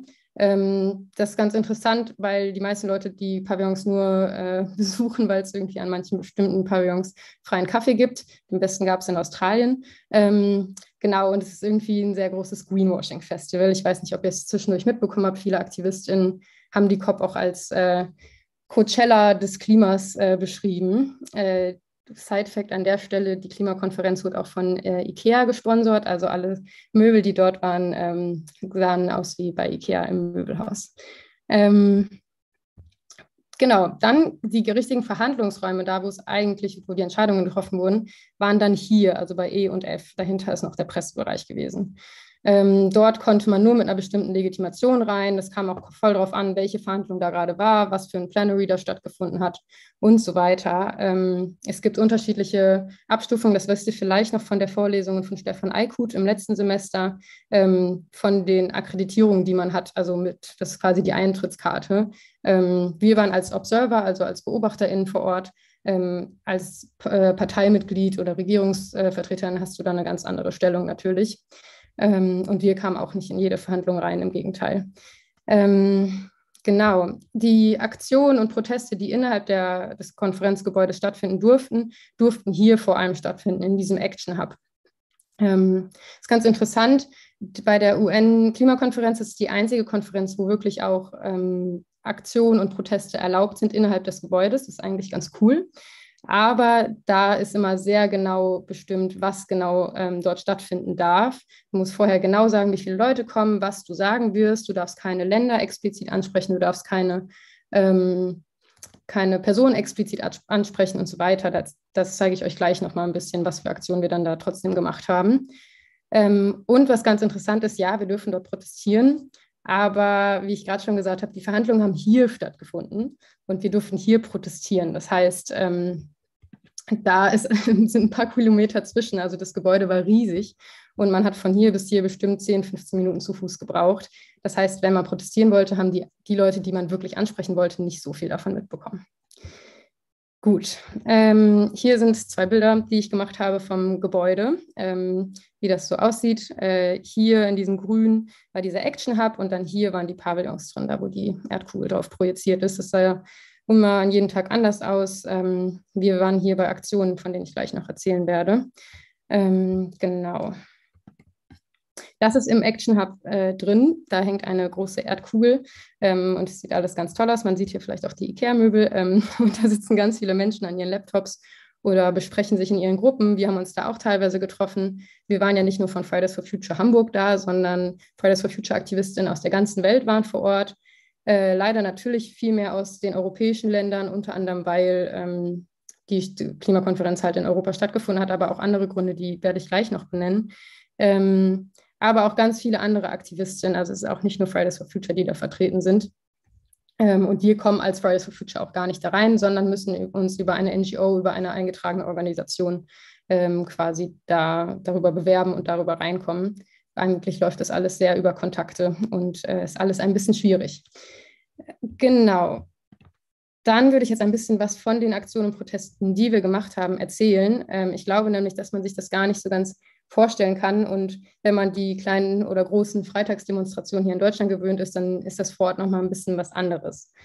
Ähm, ich habe ein paar Bilder von, den, von vielen der Aktionen einfach mal mitgebracht und würde es euch ein bisschen erzählen, wie das so ablief, was wir da so gemacht haben. Das war zum Beispiel an einem ersten Tag der Klimakonferenz, wo wir eine Aktion außerhalb des Gebäudes gemacht haben. Ähm, da waren viele der Klimaaktivistinnen, Greta war auch da, ähm, da kennt ihr vielleicht das Video, wo, wir, wo sie No More bla bla bla gesagt hat, das ist da entstanden. Ähm, und diese Aktionen bestehen vor allem darin, dass die Aktivistinnen, die vor Ort sind, äh, was nicht so viele sind im Vergleich zu so einer Großdemo oder so natürlich, ähm, die sind da dort, äh, vor allem die bekannten Klimaaktivistinnen aus aller Welt, und vor allem ganz, ganz wichtig, darüber werde ich gleich auch noch mal mehr sprechen, sind es äh, die Aktivistinnen aus den meist betroffenen Ländern und Regionen. Ähm, wir bei Fridays for Future sagen dazu MAPA, beziehungsweise die Menschen haben sich selbst so genannt und bezeichnen sich selbst so. Das steht für Most Affected People and Areas. Und generell war die ganze COP ähm, davon bestimmt, zumindest in unserer aktivistischer äh, Welt, dass vor allem MAPA-Personen sprechen können, dass MAPA-Personen in die Presse kommen, dass MAPA-Personen ähm, ihre Sicht auf die Klimakrise, ihre Erfahrungen teilen können ähm, und so weiter. Was total schwierig ist, weil diese Menschen teilweise zum ersten Mal in so, einem, ähm, in so einer europäischen Stadt wie Glasgow auftauchen, äh, beziehungsweise zum ersten Mal da sind ähm, und dann ganz viel Pressewimmel und was nicht eh schon total überfordernd ist, ab, äh, ja, erfahren müssen und dann noch immer wieder ihre Erfahrungen mit der Klimakrise, mit Ungerechtigkeiten und so weiter erzählen müssen, damit wir in Europa oder im globalen Norden wirklich mal checken, was da eigentlich schon längst abgeht. Ähm, genau. Das war eine der Aktionen. Ähm, eine weitere war eine Pressekonferenz von Fridays for Future MAPA, wo MAPA-AktivistInnen gesprochen haben, äh, ganz viel Presse eingeladen haben und ihre Statements gegeben haben und Fragen beantwortet haben. Da im Hintergrund seht ihr wieder das COP-Gebäude. Ähm, dann gab es eine Aktion, ähm, wo so Buchstaben mit äh, Lichterketten äh, geschmückt wurden und End Climate Betrayal äh, aufgeschrieben wurde ähm, und Fotos gemacht wurden und so weiter und wieder Statements gemacht wurden. Also viele der Aktionen bestanden darin, dass es irgendein ähm, fotowürdiges Momentum gab ähm, und dann Statements von MAPA-Personen gemacht wurden und die Presse halt vor Ort war. Ähm, vielleicht auch mal so aus meinem eigenen Gefühl war das immer ein bisschen komisch, weil man das Gefühl hatte, machen wir das gerade nur für die Presse und die ganze COP ist auch ein großes Presseevent. Ähm, aber es ist total schwierig. Wie gesagt, die RegierungsvertreterInnen haben da ein bisschen was anderes zu tun und äh, ja, hören nicht unbedingt zu, während wir irgendwelche Proteste dort machen. Das Bild oder beziehungsweise das Handzeichen unten rechts ist übrigens ein Solidaritätszeichen. Ähm, das bedeutet in zum Beispiel philippinischer ähm, Gebärdensprache Solidarität. Vielleicht kennt ihr das ja auch schon von manchen Fridays for Future Kanälen oder so. Genau, dann gab es eine Aktion, die nicht von MAPA gemacht wurde, sondern vor allem von AktivistInnen ähm, aus der ganzen Welt, aber auch aus Deutschland. Äh, da seht ihr zum Beispiel Eva, die ihr vielleicht auch von der Vorlesung kennt, äh, zu Lützerath und zu äh, Alle Dörfer bleiben. Ähm, genau, das gelbe X ist das Symbol dieser Bewegung. Ähm, es geht darum, dass die Dörfer, viele Dörfer in NRW wegen, der, ähm, wegen des Kohleabbaus äh, komplett vernichtet werden. Und ja, davon habt ihr bestimmt was mitbekommen. Wenn nicht, lohnt es sich da äh, noch mehr, sich zu informieren. Das würde ich jetzt hier nicht nochmal aufmachen. Und dann gab es am Freitag in der ersten Woche den großen Fridays for Future Schulstreik ähm, mit mehreren Zehntausenden Aktivistinnen, die vor Ort waren. Ähm, genau, da wart ihr ja vielleicht auch schon mal bei einem dabei. Ähm, und am Tag danach gab es noch die große Bündnisdemo der COP26 Coalition. Ähm, das ist ein bisschen schade, dass das immer am Samstag ist, weil es ist quasi Tradition, dass an jedem ersten Samstag innerhalb, der ersten, innerhalb dieser zwei Klimakonferenzwochen ähm, eine große Demonstration mit einem riesen Bündnis stattfindet. Und ich fand das sehr, sehr bestärkend und schön zu sehen, was für Organisationen sich da zusammengetan haben, was für Bewegungen sich da zusammengetan haben. Da war die Arbeiterinnenbewegung dabei, da war äh, ganz viel Black Lives Matter, Flüchtlingsbewegungen ähm, und Organisationen, feministische Organisationen, äh, Landwirtschaftsorganisationen, äh, irgendwie Fridays for Future war dabei, andere Klimagerechtigkeitsgruppen und so weiter. Und das irgendwie fand ich sehr, sehr schön und glaube ich, müssen wir auch noch, noch noch mehr in Deutschland irgendwie dieses Momentum auffangen, dass wir halt unsere Kämpfe verbinden müssen. Genau, da waren auch über 100.000 Leute ähm, und es war sehr bewegend und das war so eine der stärksten Aktionen, würde ich sagen, innerhalb dieser zwei Wochen. Ähm, genau. Ja, dann gab es noch eine Aktion. Obama war nämlich auch bei der COP, wie ihr vielleicht mitbekommen habt. Ähm, und Obama war einer der Regierungsvertreter Innen, die 2009 äh, versprochen haben, dass ähm, die reichen Industrienationen ab 2020 jährlich eine Milliarde, nee, 100 Milliarden ähm, US-Dollar an die ähm, am meisten betroffenen Regionen zahlen, um irgendwie das wieder gut zu machen, was die, die Klimakrise dort schon angerichtet hat. Das ist bis jetzt immer noch nicht passiert. Wir haben jetzt 2021. Es wurde noch äh, nicht annähernd genug Geld wieder zurückgezahlt und dort haben dann mal ein paar Aktivistinnen ähm, eine Aktion gemacht mit den Schildern Show Us the Money. Ähm, genau. Dann gab es äh, jeden Tag bei der COP ein Thema und ähm, zum Beispiel in einem Tag gab es das Gender-Thema und wir haben mit unterschiedlichen Fintag-AktivistInnen ähm, dort einfach nur ein Bild gemacht und so weiter. Wie gesagt, viele Aktionen bestanden vor allem aus Bildern und was auch noch dazu gesagt werden muss, ist vielleicht, dass diese Aktion zum Beispiel oder die davor innerhalb des COP-Gebäudes stattgefunden hat und wir da, wie gesagt, extrem begrenzt sind, was Aktionen angehen. Also eigentlich darf man auch keine Sprüche rufen, man darf höchstens ein Bild machen. Ähm, man muss sehr genau aufpassen, was gesagt wird und so weiter. Es muss alles abgeklärt werden. Ansonsten, wenn man das nicht macht, äh, geht das ganz schnell. Man wird rausgeworfen und äh, wird gedebadged. Das sind diese Schilder, die hier umhängen bei allen. Das verlierst du dann ähm, und du darfst dann auch in diesem Jahr mindestens nicht wieder rein, wahrscheinlich auch die Jahre danach. Und das Problem dabei ist auch noch, du bist ja nicht als Fridays for Future akkreditiert, sondern über eine Organisation. Wir waren zum Beispiel unter anderem unter, über die Uni Hamburg akkreditiert, aber auch über die Naturfreunde oder ähm, Plan for the Planet. Es gibt ganz, ganz viele Organisationen. Und ähm, äh, sorry, ich habe gerade die Frage gelesen, kann ich gerne als Notiz aufnehmen. Ähm, und wenn du dein Badge verlierst, kann es gut sein, dass auch die Organisation, über die du akkreditiert bist, auch komplett ausgeschlossen wird. Das heißt, du bist nicht nur für dich selbst verantwortlich, sondern auch noch für die Organisation, über die du schon das äh, Privileg hattest, überhaupt reinzukommen. Genau. Äh, dann gab es noch eine Aktion ähm, zum Verhandlungstext. Darauf gehe ich gleich nochmal ein. Es war nämlich dieses Jahr das erste Jahr, dass in diesem äh, Abschlusstext überhaupt das Wort Fossil Fuels ähm, drin stand. Also allererst, zum allerersten Mal wurden fossile Energien als ähm, ja, mitverantwortlich für die Klimakrise ähm, betitelt und benannt und anerkannt. Und äh, da gab es eine Aktion dazu, weil es noch nicht ganz klar war, ob das so sein wird. Ähm, wir haben uns stark gemacht, dass es so ist und dass es trotzdem nicht genug ist, nur dieses Wort zu nennen, sondern dass da klare Maßnahmen folgen. Da erzähle ich gleich noch was zu. Und auch hier wieder ganz viele MAPA-Aktivistinnen, die da vor allem laut und stark waren. Und ähm, was ich vielleicht gerade auch nochmal sagen will, MAPA-AktivistInnen sind nicht erst seit, wie, also Fridays for Future hat sich vor drei Jahren gebildet. Wir haben heute Geburtstag, Happy Birthday an Fridays for Future. Ähm, heute gab es den ersten Streik in Deutschland. Ähm, aber gerade MAPA-AktivistInnen kämpfen schon seit Jahrzehnten für Klimagerechtigkeit, nicht nur für Klimagerechtigkeit, für Gerechtigkeit allgemein, für Dekolonialisierung, für das Anerkennen der ähm, kolonialen ähm, Verbrechen. Und ähm, ja, das sollte vielleicht an dieser Stelle noch gesagt werden, dass das äh, ja schon einige Jahre geht und nicht erst seit es Fridays for Future gibt. Ähm, gut, dann gab es äh, in der zweiten Woche eine Aktion von Fridays for Future Deutschland. Ähm, und wir haben an dem Tag nämlich im deutschen Pavillon, da seht ihr einmal mal so ein Pavillon als Beispiel, eine Aktion gemacht ähm, und wieder nur ein Foto gemacht. Wir haben Statements gemacht und auch Sprüche gerufen. Das war so halb erlaubt, aber wir haben keinen Stress bekommen, was vielleicht auch an unserem Privileg liegt, äh, dort deutsch zu sein. Ähm, und haben quasi die äh, COP mit den Koalitionsverhandlungen, die währenddessen stattgefunden haben, in Verbindung gesetzt und klar gesagt, so Deutschland hat eine unglaublich große Verantwortung, sowohl historisch als auch jetzt in der Gegenwart global als einer der größten Emittenten. Und die müssen dem nachkommen. Und äh, Deutschland war sowieso nicht so gut vertreten vor Ort. Es waren nicht viele Menschen von, also nicht so viele RegierungsvertreterInnen dort, weil die alle in den Koalitionsverhandlungen saßen. Ähm, aber da muss klar sein, dass das auch miteinander gedacht werden muss und dass die Ergebnisse der COP auch in die Koalitionsverhandlungen mit reingehen müssen.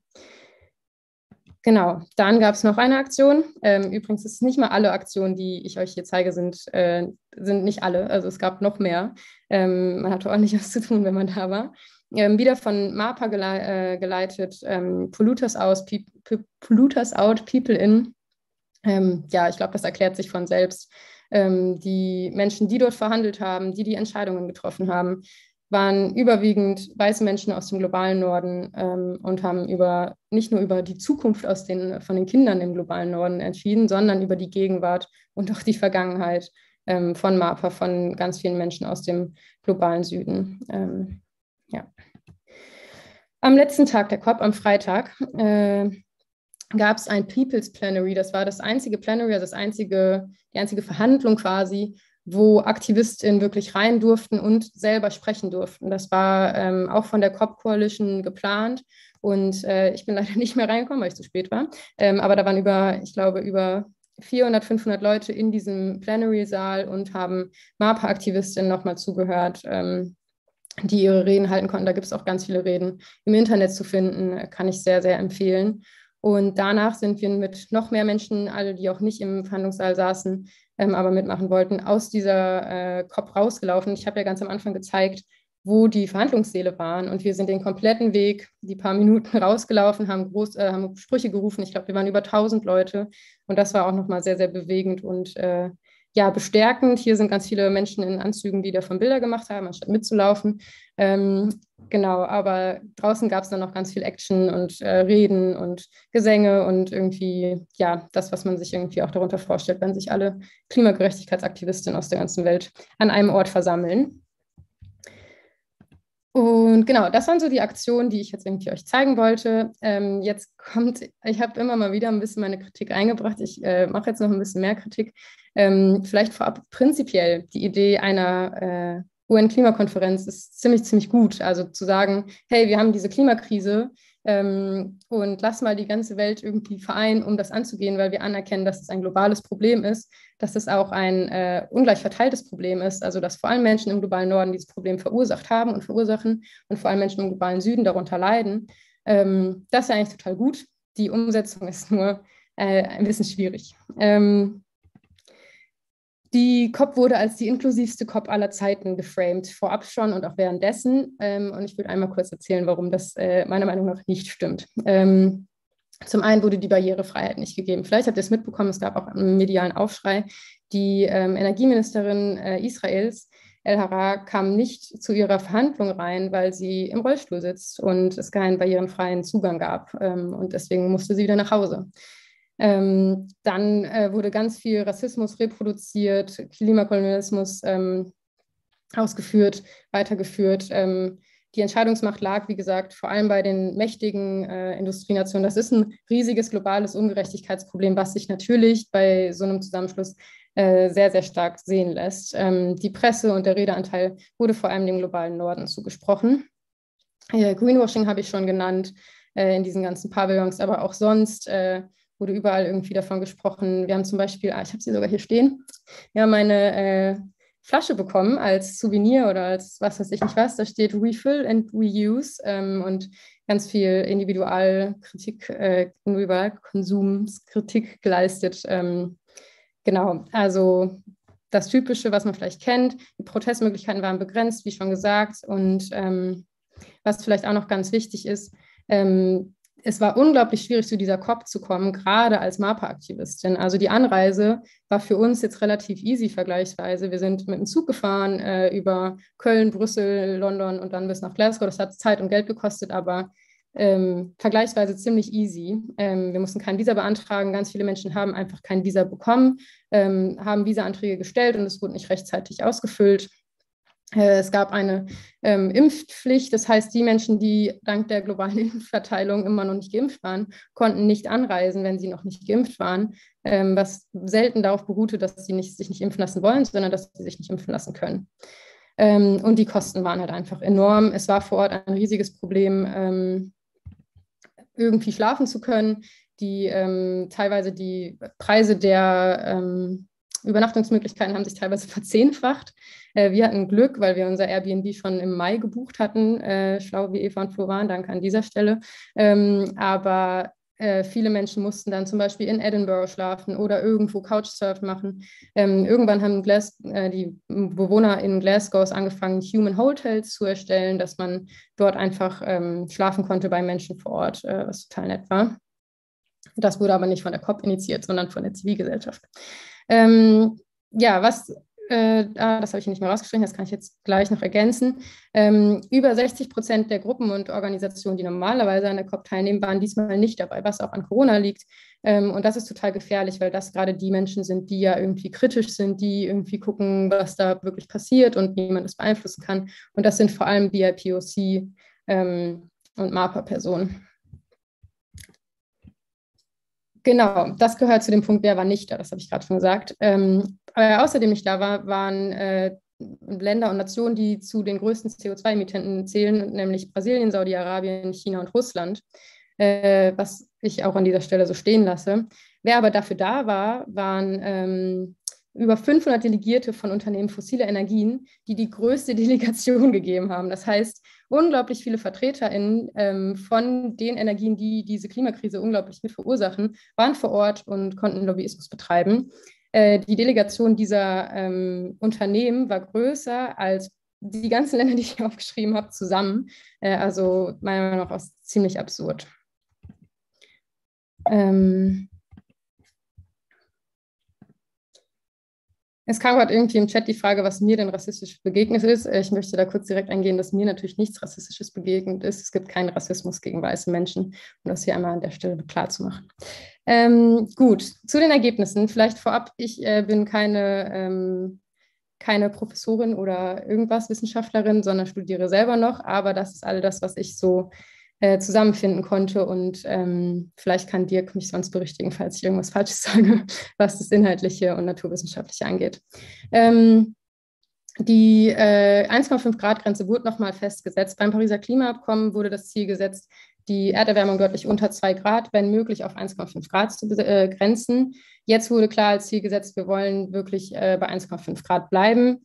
Ähm, was äh, auch nochmal interessant ist, hier steht Anmerkung von mir, von moi, ähm, dass 1,5 Grad ganz oft als Ziel bezeichnet wird, was, uns, was aber total irreführend ist, weil 1,5 Grad ein letzter Kompromiss sind. Also wir sind jetzt schon in einer 1,1 bis 1,2 Grad wärmeren Welt und merken ja langsam schon auch hier im globalen Norden die Auswirkungen. Die Auswirkungen im globalen Süden sind aber unbeschreiblich und äh, deswegen ist 1,5 Grad kein Ziel, sondern eine Grenze, äh, die wir auf keinen Fall überschreiten sollen.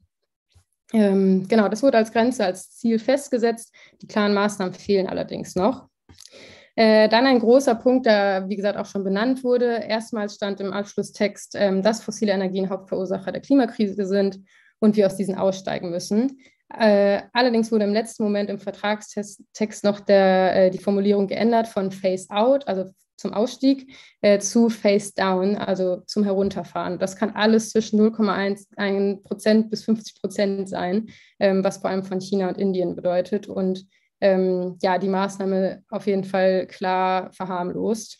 Außerdem wurde gesagt, dass ineffiziente Subventionen in fossilen Energien ähm, ja, reduziert werden sollen. Es wurde aber überhaupt nicht erklärt, was denn genau ineffiziente Subventionen sind oder was nicht. Also auch alles sehr schwammig. Ähm, dann wurde nochmal über die finanzielle Unterstützung des globalen Südens gesprochen. Ähm, das hatte ich gerade schon erwähnt, über das Versprechen, ab 2020 100 Milliarden US-Dollar jährlich an betroffene Länder zu zahlen.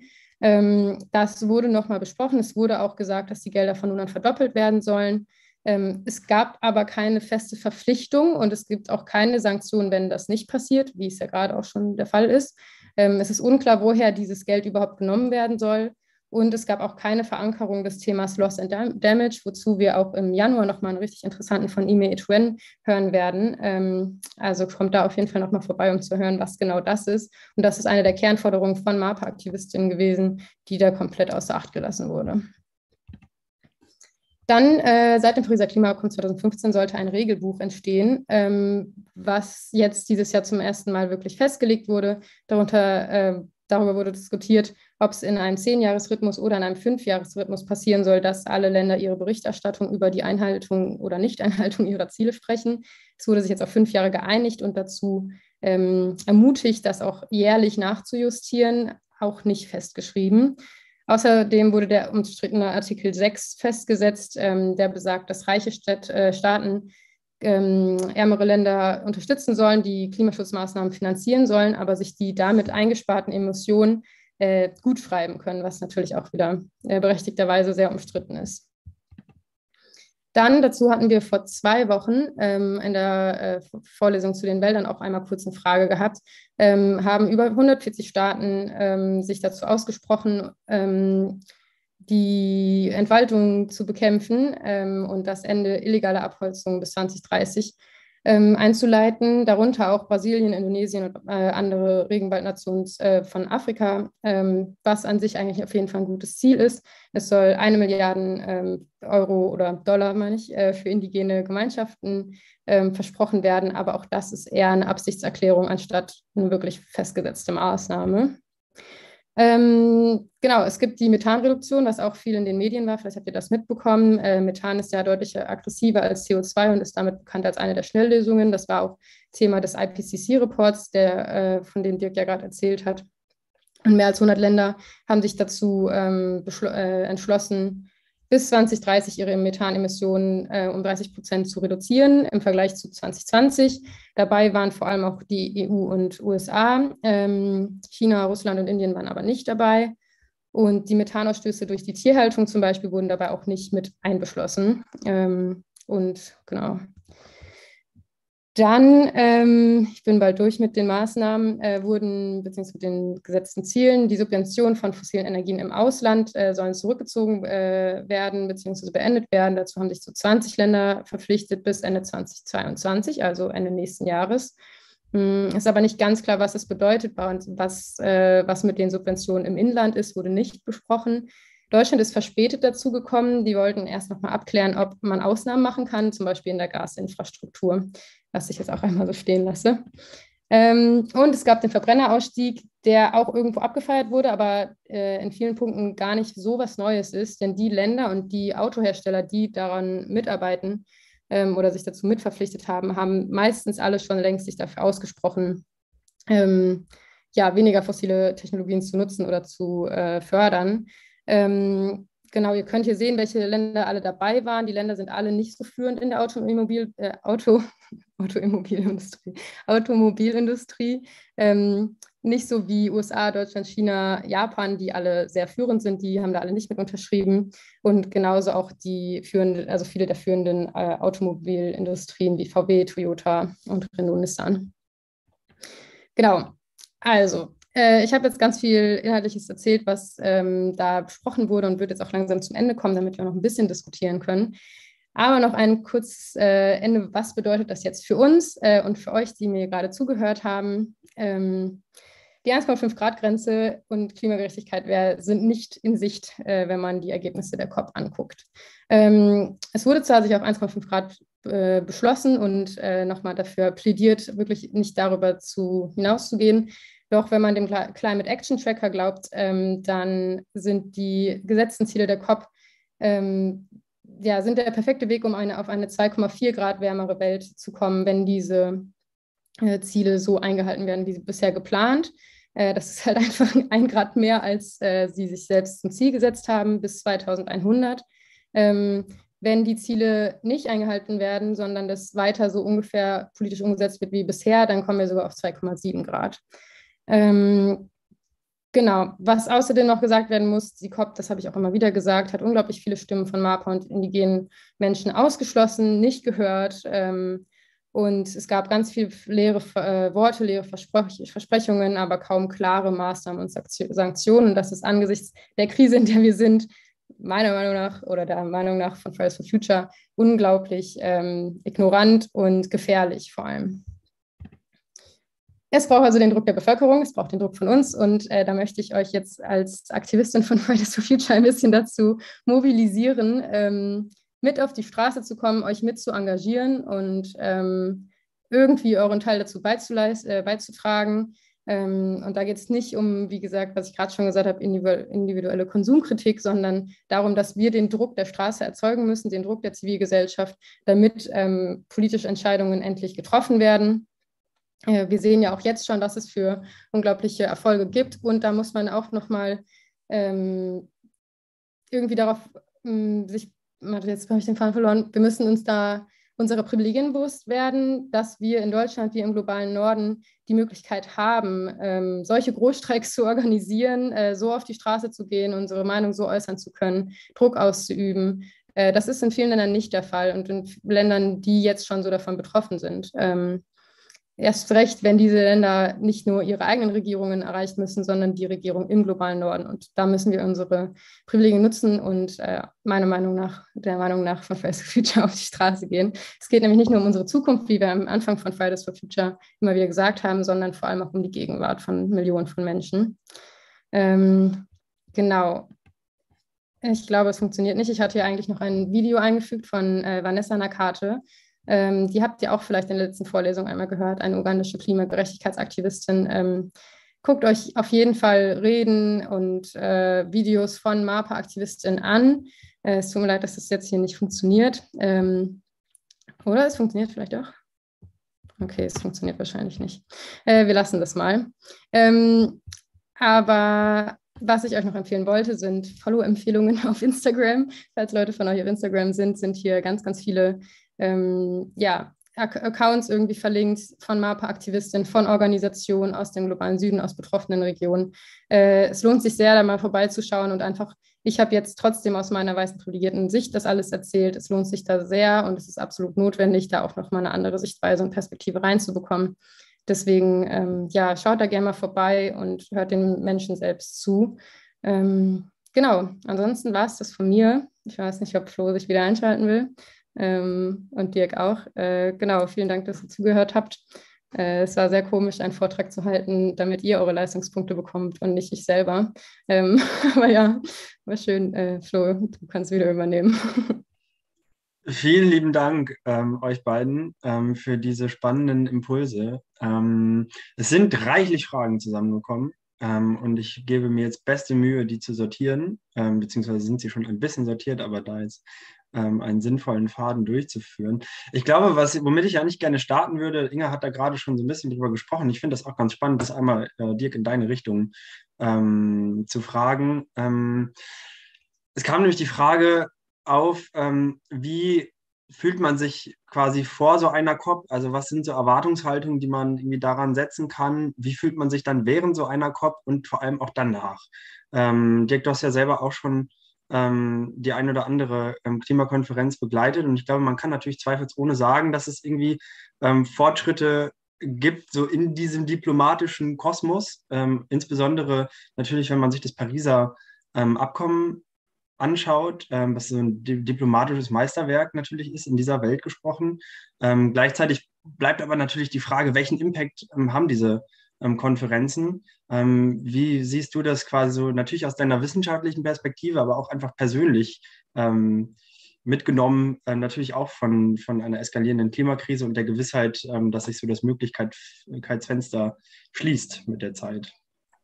Ja, äh, ich glaube, ich sehe das relativ differenziert. Ähm, ich möchte vielleicht mal mit dem Positiven anfangen. Ähm, wenn man sich einfach vorstellen würde, es gäbe diese Cops nicht dann würde gar nichts passieren. Dann würde man so vor sich hin, ab und zu würde irgendein Land mal irgendwas machen, aber es gäbe viel, viel weniger Scheinwerferlicht darauf, was einzelne Regierungen machen oder nicht machen. Ähm, es gäbe das Pariser Klimaabkommen nicht, es gäbe kein international verbindliches 2 Grad oder inzwischen 1,5 Grad Ziel. Ähm, es gäbe eigentlich wenig von Substanz, wo man Leute darauf festnageln kann. Ähm, also von daher, wenn man sozusagen in die Vergangenheit schaut und schaut, was es eigentlich alles inzwischen gibt, es gäbe die ganzen Selbstverpflichtungen der Länder möglicherweise nicht, ähm, dann ist es alles nach wie vor viel weniger, als es bräuchte, um das anderthalb Grad Ziel zu erreichen. Aber es ist viel, viel, viel mehr, als wir hätten ohne diese COPs. Und ich glaube, dass das ähm, meine Einschätzung auch insgesamt ist. Ähm, wenn man aus der Wissenschaft kommt oder aus der Aktivismusszene, natürlich will man immer mehr, ähm, oder nicht natürlich, aber häufig will man mehr als das, was erreicht wird. Ähm, wenn man möglicherweise ein Erdöl exportierendes Land ist, möchte man, dass eigentlich viel, viel weniger passiert und die Bevölkerung dort möchte vielleicht auch, dass viel, viel weniger passiert. Und am Ende geht es halt darum, dass man es irgendwie schafft, möglichst die ganze Welt mitzunehmen. Und ähm, im Prinzip, vielleicht auch nach meiner Erfahrung jetzt, wie das bei den IPCC-Verhandlungen gelaufen ist, ähm, was es wirklich bedeutet, diplomatisch äh, auszuhandeln, dass alle Länder sich irgendwie mitgenommen fühlen das geht nur über Kompromisse. Ähm, und ich finde es völlig in Ordnung, dass man auch diese Kompromisse dann hinterher kritisiert. Aber ich bin dankbar, dass es diese Kompromisse gibt im Vergleich zu, es gäbe gar nichts. Ähm, ich glaube, das ist vielleicht meine ja, sehr ausgeglichene Einordnung dessen, wie ich COPs wahrnehme. Äh, ich nehme sie, während ich da bin, ähm, immer unglaublich spannend da, weil man extrem viele spannende Leute trifft. Ähm, ich selbst das immer sehr, sehr faszinierend und toll finde, wen man da trifft, was für Gespräche man dort führen kann.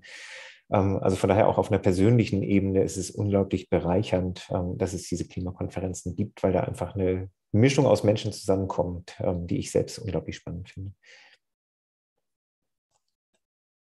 Mm, Inga, willst du dazu auch gerne nochmal äh, einhaken, weil die Frage ja ursprünglich quasi auch an dich gerichtet war? Äh, ja, klar, kann ich gern machen. Ähm, also insgesamt aus der Sicht will ich dir auch total zustimmen. Also es ist auf jeden Fall alles besser als nichts.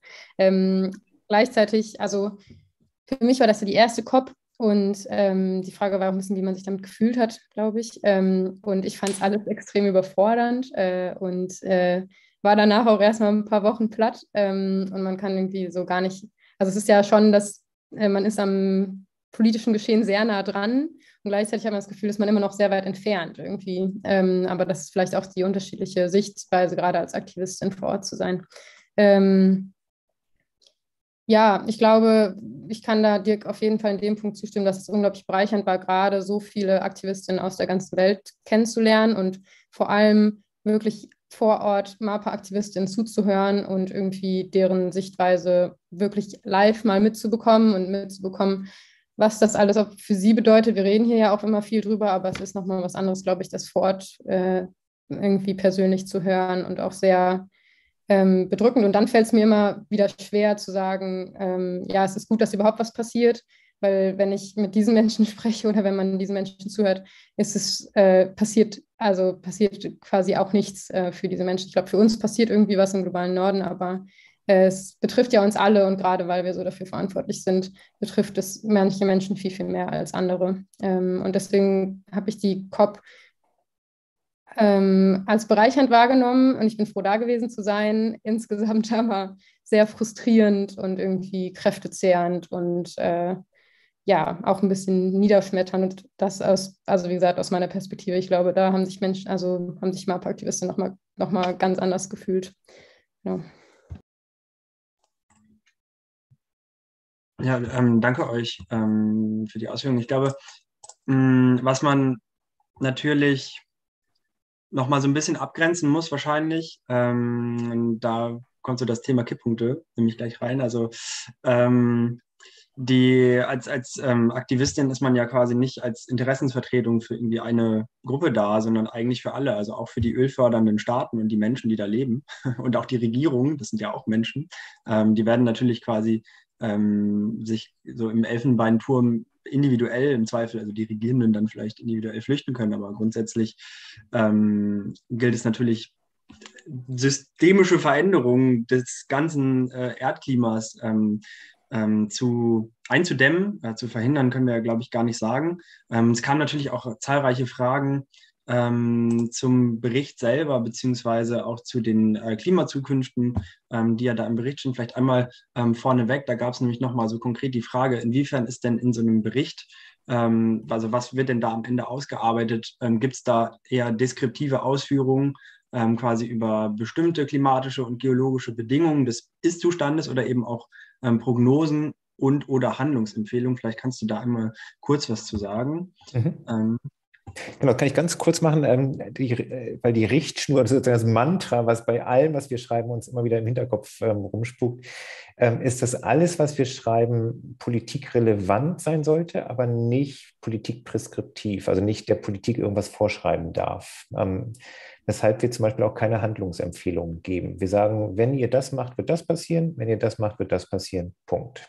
Ähm, und politikrelevant heißt, ähm, dass wir jetzt nicht die irgendwelche obskuren Teile von Klimaforschung ähm, dort groß ausführen, die möglicherweise die keine Relevanz haben, sondern halt Dinge relevant werden, insofern, als sie zum Beispiel uns Argumente dafür liefern, warum es wahrscheinlich doch sinnvoll wäre, ein anderthalb Grad Ziel einzuhalten, ähm, sodass Regierungen hinterher eine Abwägung machen können zwischen verschiedenen Interessen, zwischen den Interessen, was bedeutet es zum Beispiel, ähm, das Klima zu schützen, so gut es irgend geht, ähm, im Verhältnis dazu, was das für das Land selbst an wirtschaftlichen Entwicklungsmöglichkeiten möglicherweise bedeutet. Und ähm, im Prinzip, um diese Abwägung zu ermöglichen, dafür schreiben wir diese Berichte.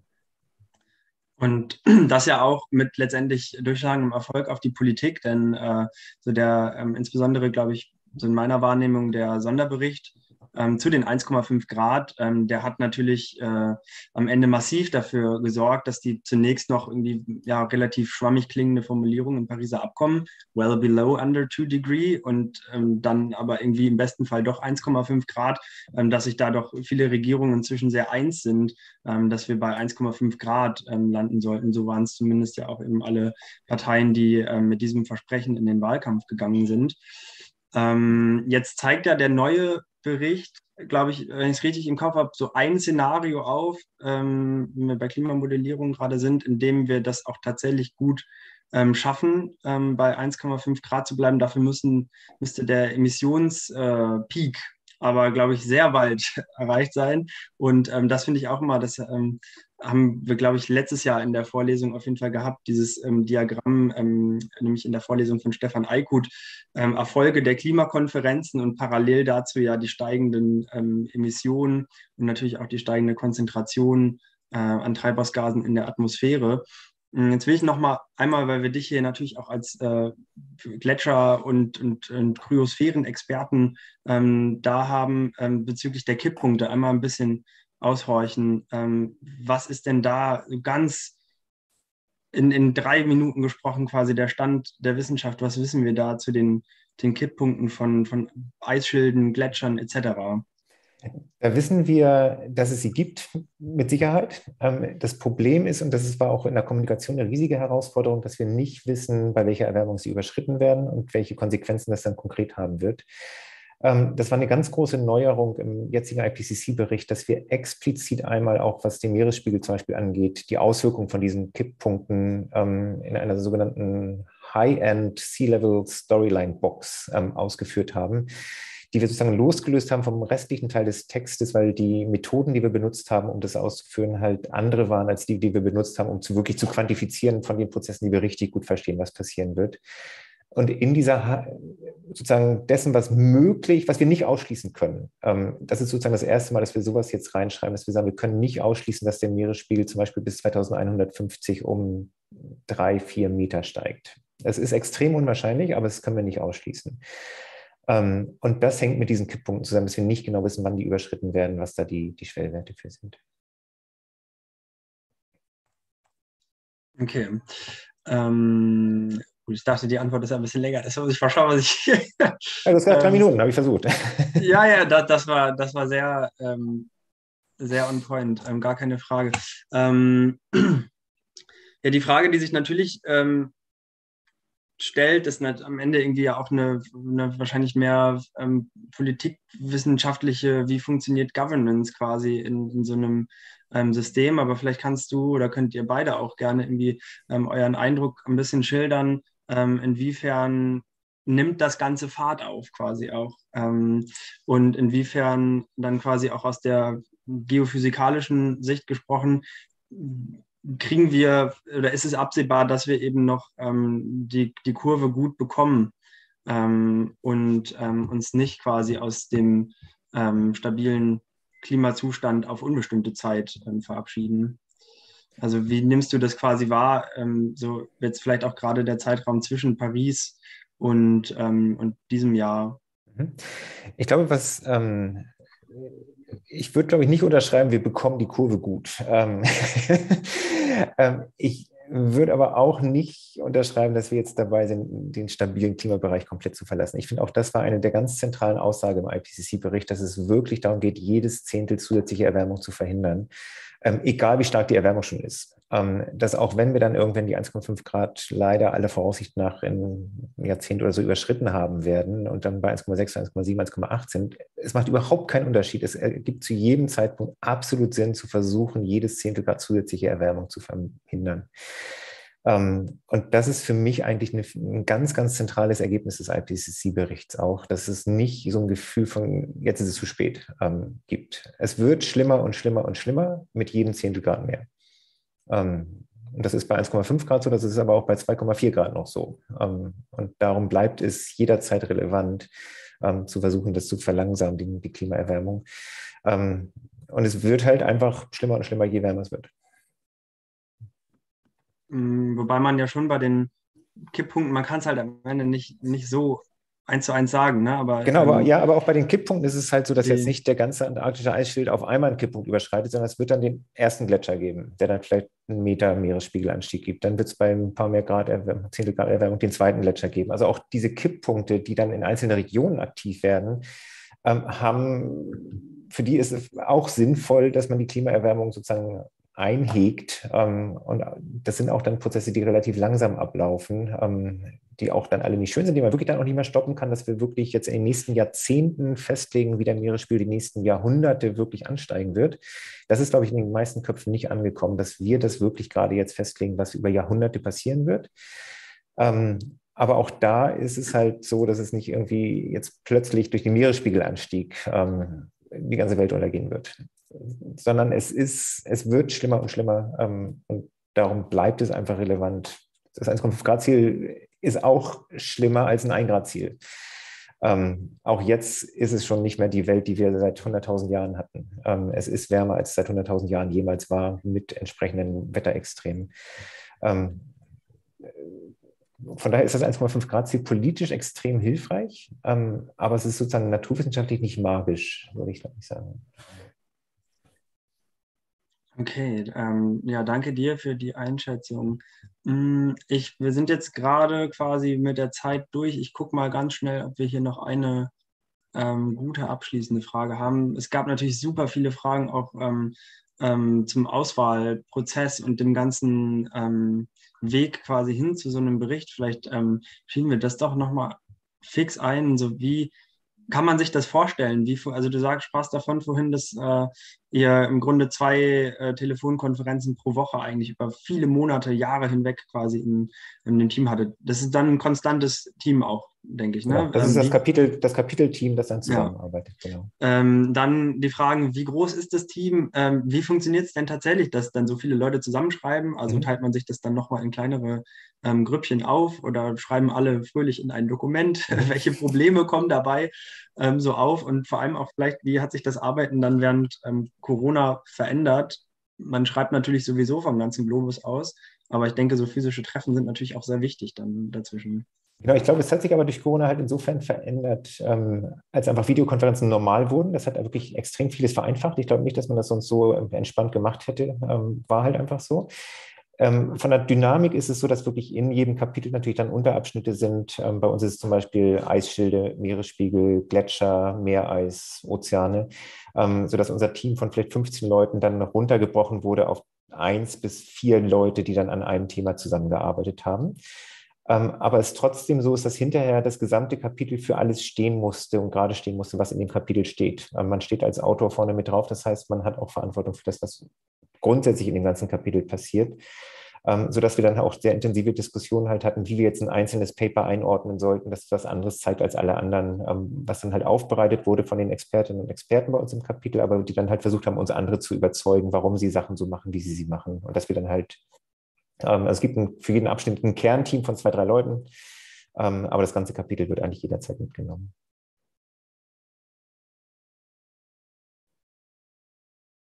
Okay, ich habe noch eine kleine Frage und dann äh, runde ich nochmal ab und gebe an euch beide. Ähm, oh, jetzt habe ich sie verloren hier. Ähm, wie ist das denn quasi so, das klingt ja alles super zeitintensiv und das ist ja auch total sinnvoll, dass das so ist. Ähm, aber wie funktioniert das denn quasi neben der normalen Forschungstätigkeit, neben dem normalen Job? Wird man dafür quasi so ein bisschen freigestellt vom Arbeitgeber? Wird man dafür eigentlich bezahlt, wenn du das verraten magst? War auch die Frage. Ähm, es ist einfach äh, Ehre und Ruhm, die man da. Es ist Ehre und Ruhm ähm, mhm. und man macht halt einfach dann andere Sachen nicht, die man ansonsten machen würde. Ähm, man schreibt halt deutlich weniger Paper wahrscheinlich in dem Zeitraum, ähm, nimmt vielleicht ein paar weniger Masterarbeiten an und hat deutlich weniger Freizeit, ähm, deutlich weniger Wochenenden, deutlich weniger Nächte. Ähm, also zum Beispiel auch diese Verhandlungen mit den Entscheidungsträgern, die fing dann halt in europäischer Zeit dann teilweise um 10 Uhr abends an und ging dann halt bis 8 Uhr morgens und dann war man halt einfach dann dabei. Ähm, also auch das ist halt ähm, von den Zeitzonen, man hat eigentlich ein, entwickelt dann auch teilweise seltsame Schlafrhythmen, weil es einfach, ähm, ja, es ist extrem intensiv. Aber es bringt unglaublich Spaß und auch dieser Zusammenhalt in, der, in dem Kapitel, in den Teams einfach unglaublich toll. Das kann ich mir vorstellen. Ähm, gut, also und dann. und vielleicht dazu, ich glaube, was ich halt wirklich so beeindruckend finde, ist, wie, ähm, für mich das einfach immer wieder zeigt, die Wissenschaft, wie eigentlich eine Weltgemeinschaft funktioniert, dass halt die Herkunft, ähm, Rasse, Hautfarbe, Religion, das spielt überhaupt keine Rolle bei den Diskussionen. Man nimmt sich einfach gegenseitig als Kolleginnen und Kollegen aus aller Welt da und arbeitet zusammen an einem großen Bericht, wo die gesamte Weltwissenschaft einfach hintersteht. Und das ist einfach auch so von der Erfahrung dessen, wie das funktioniert in der Wissenschaft, als Vorbild davon, wie eigentlich die Menschheit funktionieren könnte, auch immer extrem bereichernd.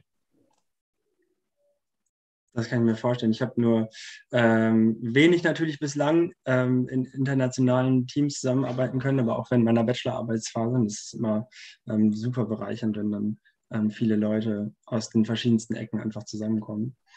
Ähm, so, wir haben jetzt hier eine äh, sehr große, sehr offene ähm, Abschlussfrage, ähm, die gerade nochmal über den Chat ähm, reinkam. Ähm, und zwar glaubt ihr, ob das quasi das 1,5 Grad Ziel oder die 1,5 Grad Grenze ähm, mit, ähm, also mit, ich habe sie falsch verstanden. Ich dachte, mit der Regierung ähm, eingehalten werden kann. Also wir haben jetzt ja quasi das, auch wieder die große Möglichkeit, einfach äh, mit einer frischen Regierung ähm, neuen, neuen Tatendrang ähm, umzusetzen. Und ähm, viele Versprechungen sind passiert im letzten halben Jahr und irgendwie natürlich auch von der ähm, Straße erkämpft worden. Ähm, was muss da so ein bisschen in nächster Zeit ähm, passieren, quasi äh, aktivistisch, aber natürlich auch, also kriegt es so eine Regierung auf die Kette, 1,5 Grad konforme Politik zu machen? Wo sind die Pläne der Regierung? an euch beide. Ja, ich glaube, dass ähm, das Problem ist, glaube ich, dass die Regierung alleine ähm, halt keine Politik gegen breite Teile der Bevölkerung machen kann.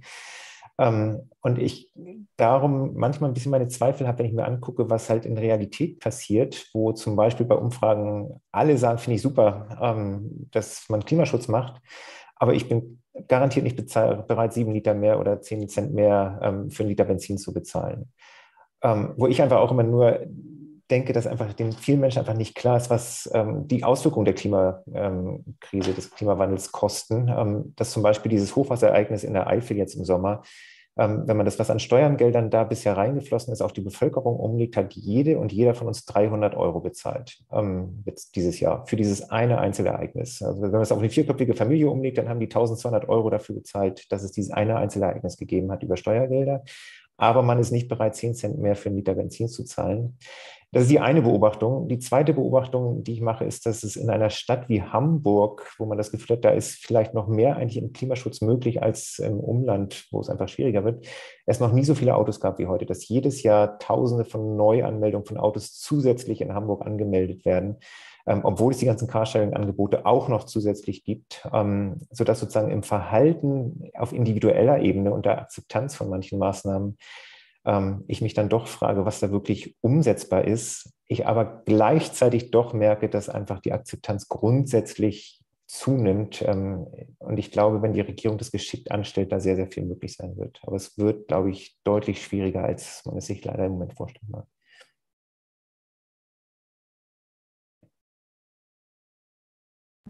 Soll ich direkt übernehmen? Okay. Ähm, ja, ich glaube, so aus aktivistischer Sicht, ähm, natürlich, also passiert da nicht genug und auch der Koalitionsvertrag ist absolut nicht 1,5 Grad konform. Ähm, deswegen bin ich mir da gerade nicht so sicher, inwiefern wir das hinbekommen.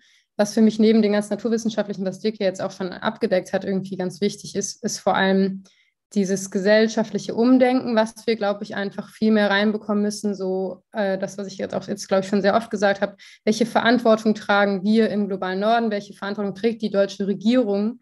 Ähm, gerade sowohl global jetzt als auch historisch nach allem, was schon passiert ist. So. Ähm, und ich glaube, da muss die Regierung auch irgendwie voranschreiten und das endlich anerkennen und äh, das benennen und demnach dann auch Maßnahmen folgen lassen. Und das fehlt mir gerade total. Und dadurch, ähm, also es ist ja nicht nur so, dass die Bevölkerung die ähm, Regierung bestimmt, sondern die Regierung auch das bestimmt, was irgendwie äh, diskutiert wird. Und wenn immer noch darüber diskutiert wird, was, ähm, ob, ob, wir uns Klimaschutz leisten können, anstatt zu diskutieren, wie wir uns ihn leisten können, wie wir das hinbekommen, weil Klimakatastrophe ist deutlich teurer als ähm, Klimaschutz. Äh, das, das fehlt mir noch total. Ähm, und natürlich, was ich jetzt natürlich auch noch mit reinbringen kann, sind die 100-Tage-Forderungen, die wir von Fridays for Future ja auch gestellt haben an die Bundesregierung, ähm, wo vor allem auf Platz 1 steht, dass wir endlich äh, uns ein CO2-Budget setzen müssen und uns daran halten müssen. Also ein Budget an Emissionen, was wir noch ausstoßen können, so ähm, ähm, von Deutschland aus und uns daran gemessen Maßnahmen setzen können, dass wir dieses Budget nicht überschreiten. Und das hat ja auch wieder eine ziemlich globale ähm, Sichtweise dann darauf, wenn man jedem Land quasi ein Budget zuschreibt. Da gibt es noch ein paar andere Forderungen. Äh, guckt gerne auf fridaysforfuture.de nach. Ähm, lohnt sich da reinzugucken, auch inhaltlich. Ähm, genau, und ich glaube halt, wie gesagt, weiterhin, um jetzt auch nochmal irgendwie die aktivistische Perspektive oder äh, noch so auszufüllen, dass wir das halt nur hinkriegen, wenn wir weiter Druck machen, weil, wie dir gerade schon gesagt hat, ist in vielen Teilen der Gesellschaft das noch nicht angekommen, was nötig ist, äh, was allen zuzuschreiben ist, die jetzt schon davon wissen. Dafür haben wir diese Ringvorlesung, um darüber zu informieren, was aber auch gerade in einem sehr akademischen Kontext passiert. Ähm, und ich glaube, es muss noch viel klarer werden, was diese Klimakrise wirklich bedeutet, nicht nur für uns, sondern für die ganze Welt. Ähm, und dazu gehen wir immer noch auf die Straße. Äh, diesen Freitag übrigens auch 17 Uhr, Achmannplatz. Ähm, genau, um das irgendwie nochmal klar zu und ich glaube, dass das ganz, ganz wichtig ist und wir freuen uns über jeden und jede, der, der oder die dabei ist. Das sind doch äh, die perfekten Schlussworte. Ähm, ich danke euch beiden ähm, vielmals für die ganzen Eindrücke. Ähm, wir könnten noch, glaube ich, stundenlang weiterreden, ähm, auch mindestens anhand der ganzen Fragen, die ähm, noch über den Chat zusammengekommen sind. Ähm, ja, fröhliche äh, äh, Winter-, Weihnachts-, was auch immer Tage, wie euch das äh, zur Nase steht. Ähm, hoffentlich vor allem eine erholsame Zeit, glaube ich, nach einem sehr, sehr kräftezehrenden Jahr ähm, in vielerlei Hinsicht. Ähm, wir sehen uns Anfang äh, des Jahres ähm, wieder. Denkt an den Test, der ab dem 4. Januar auch läuft. Ähm, und ähm, dann natürlich auch im nächsten Semester, wie schon vorhin angekündigt, mit vielen, vielen weiteren tollen Vorträgen. Vielen lieben Dank, Inga. Vielen lieben Dank, Dirk. Und auf bald.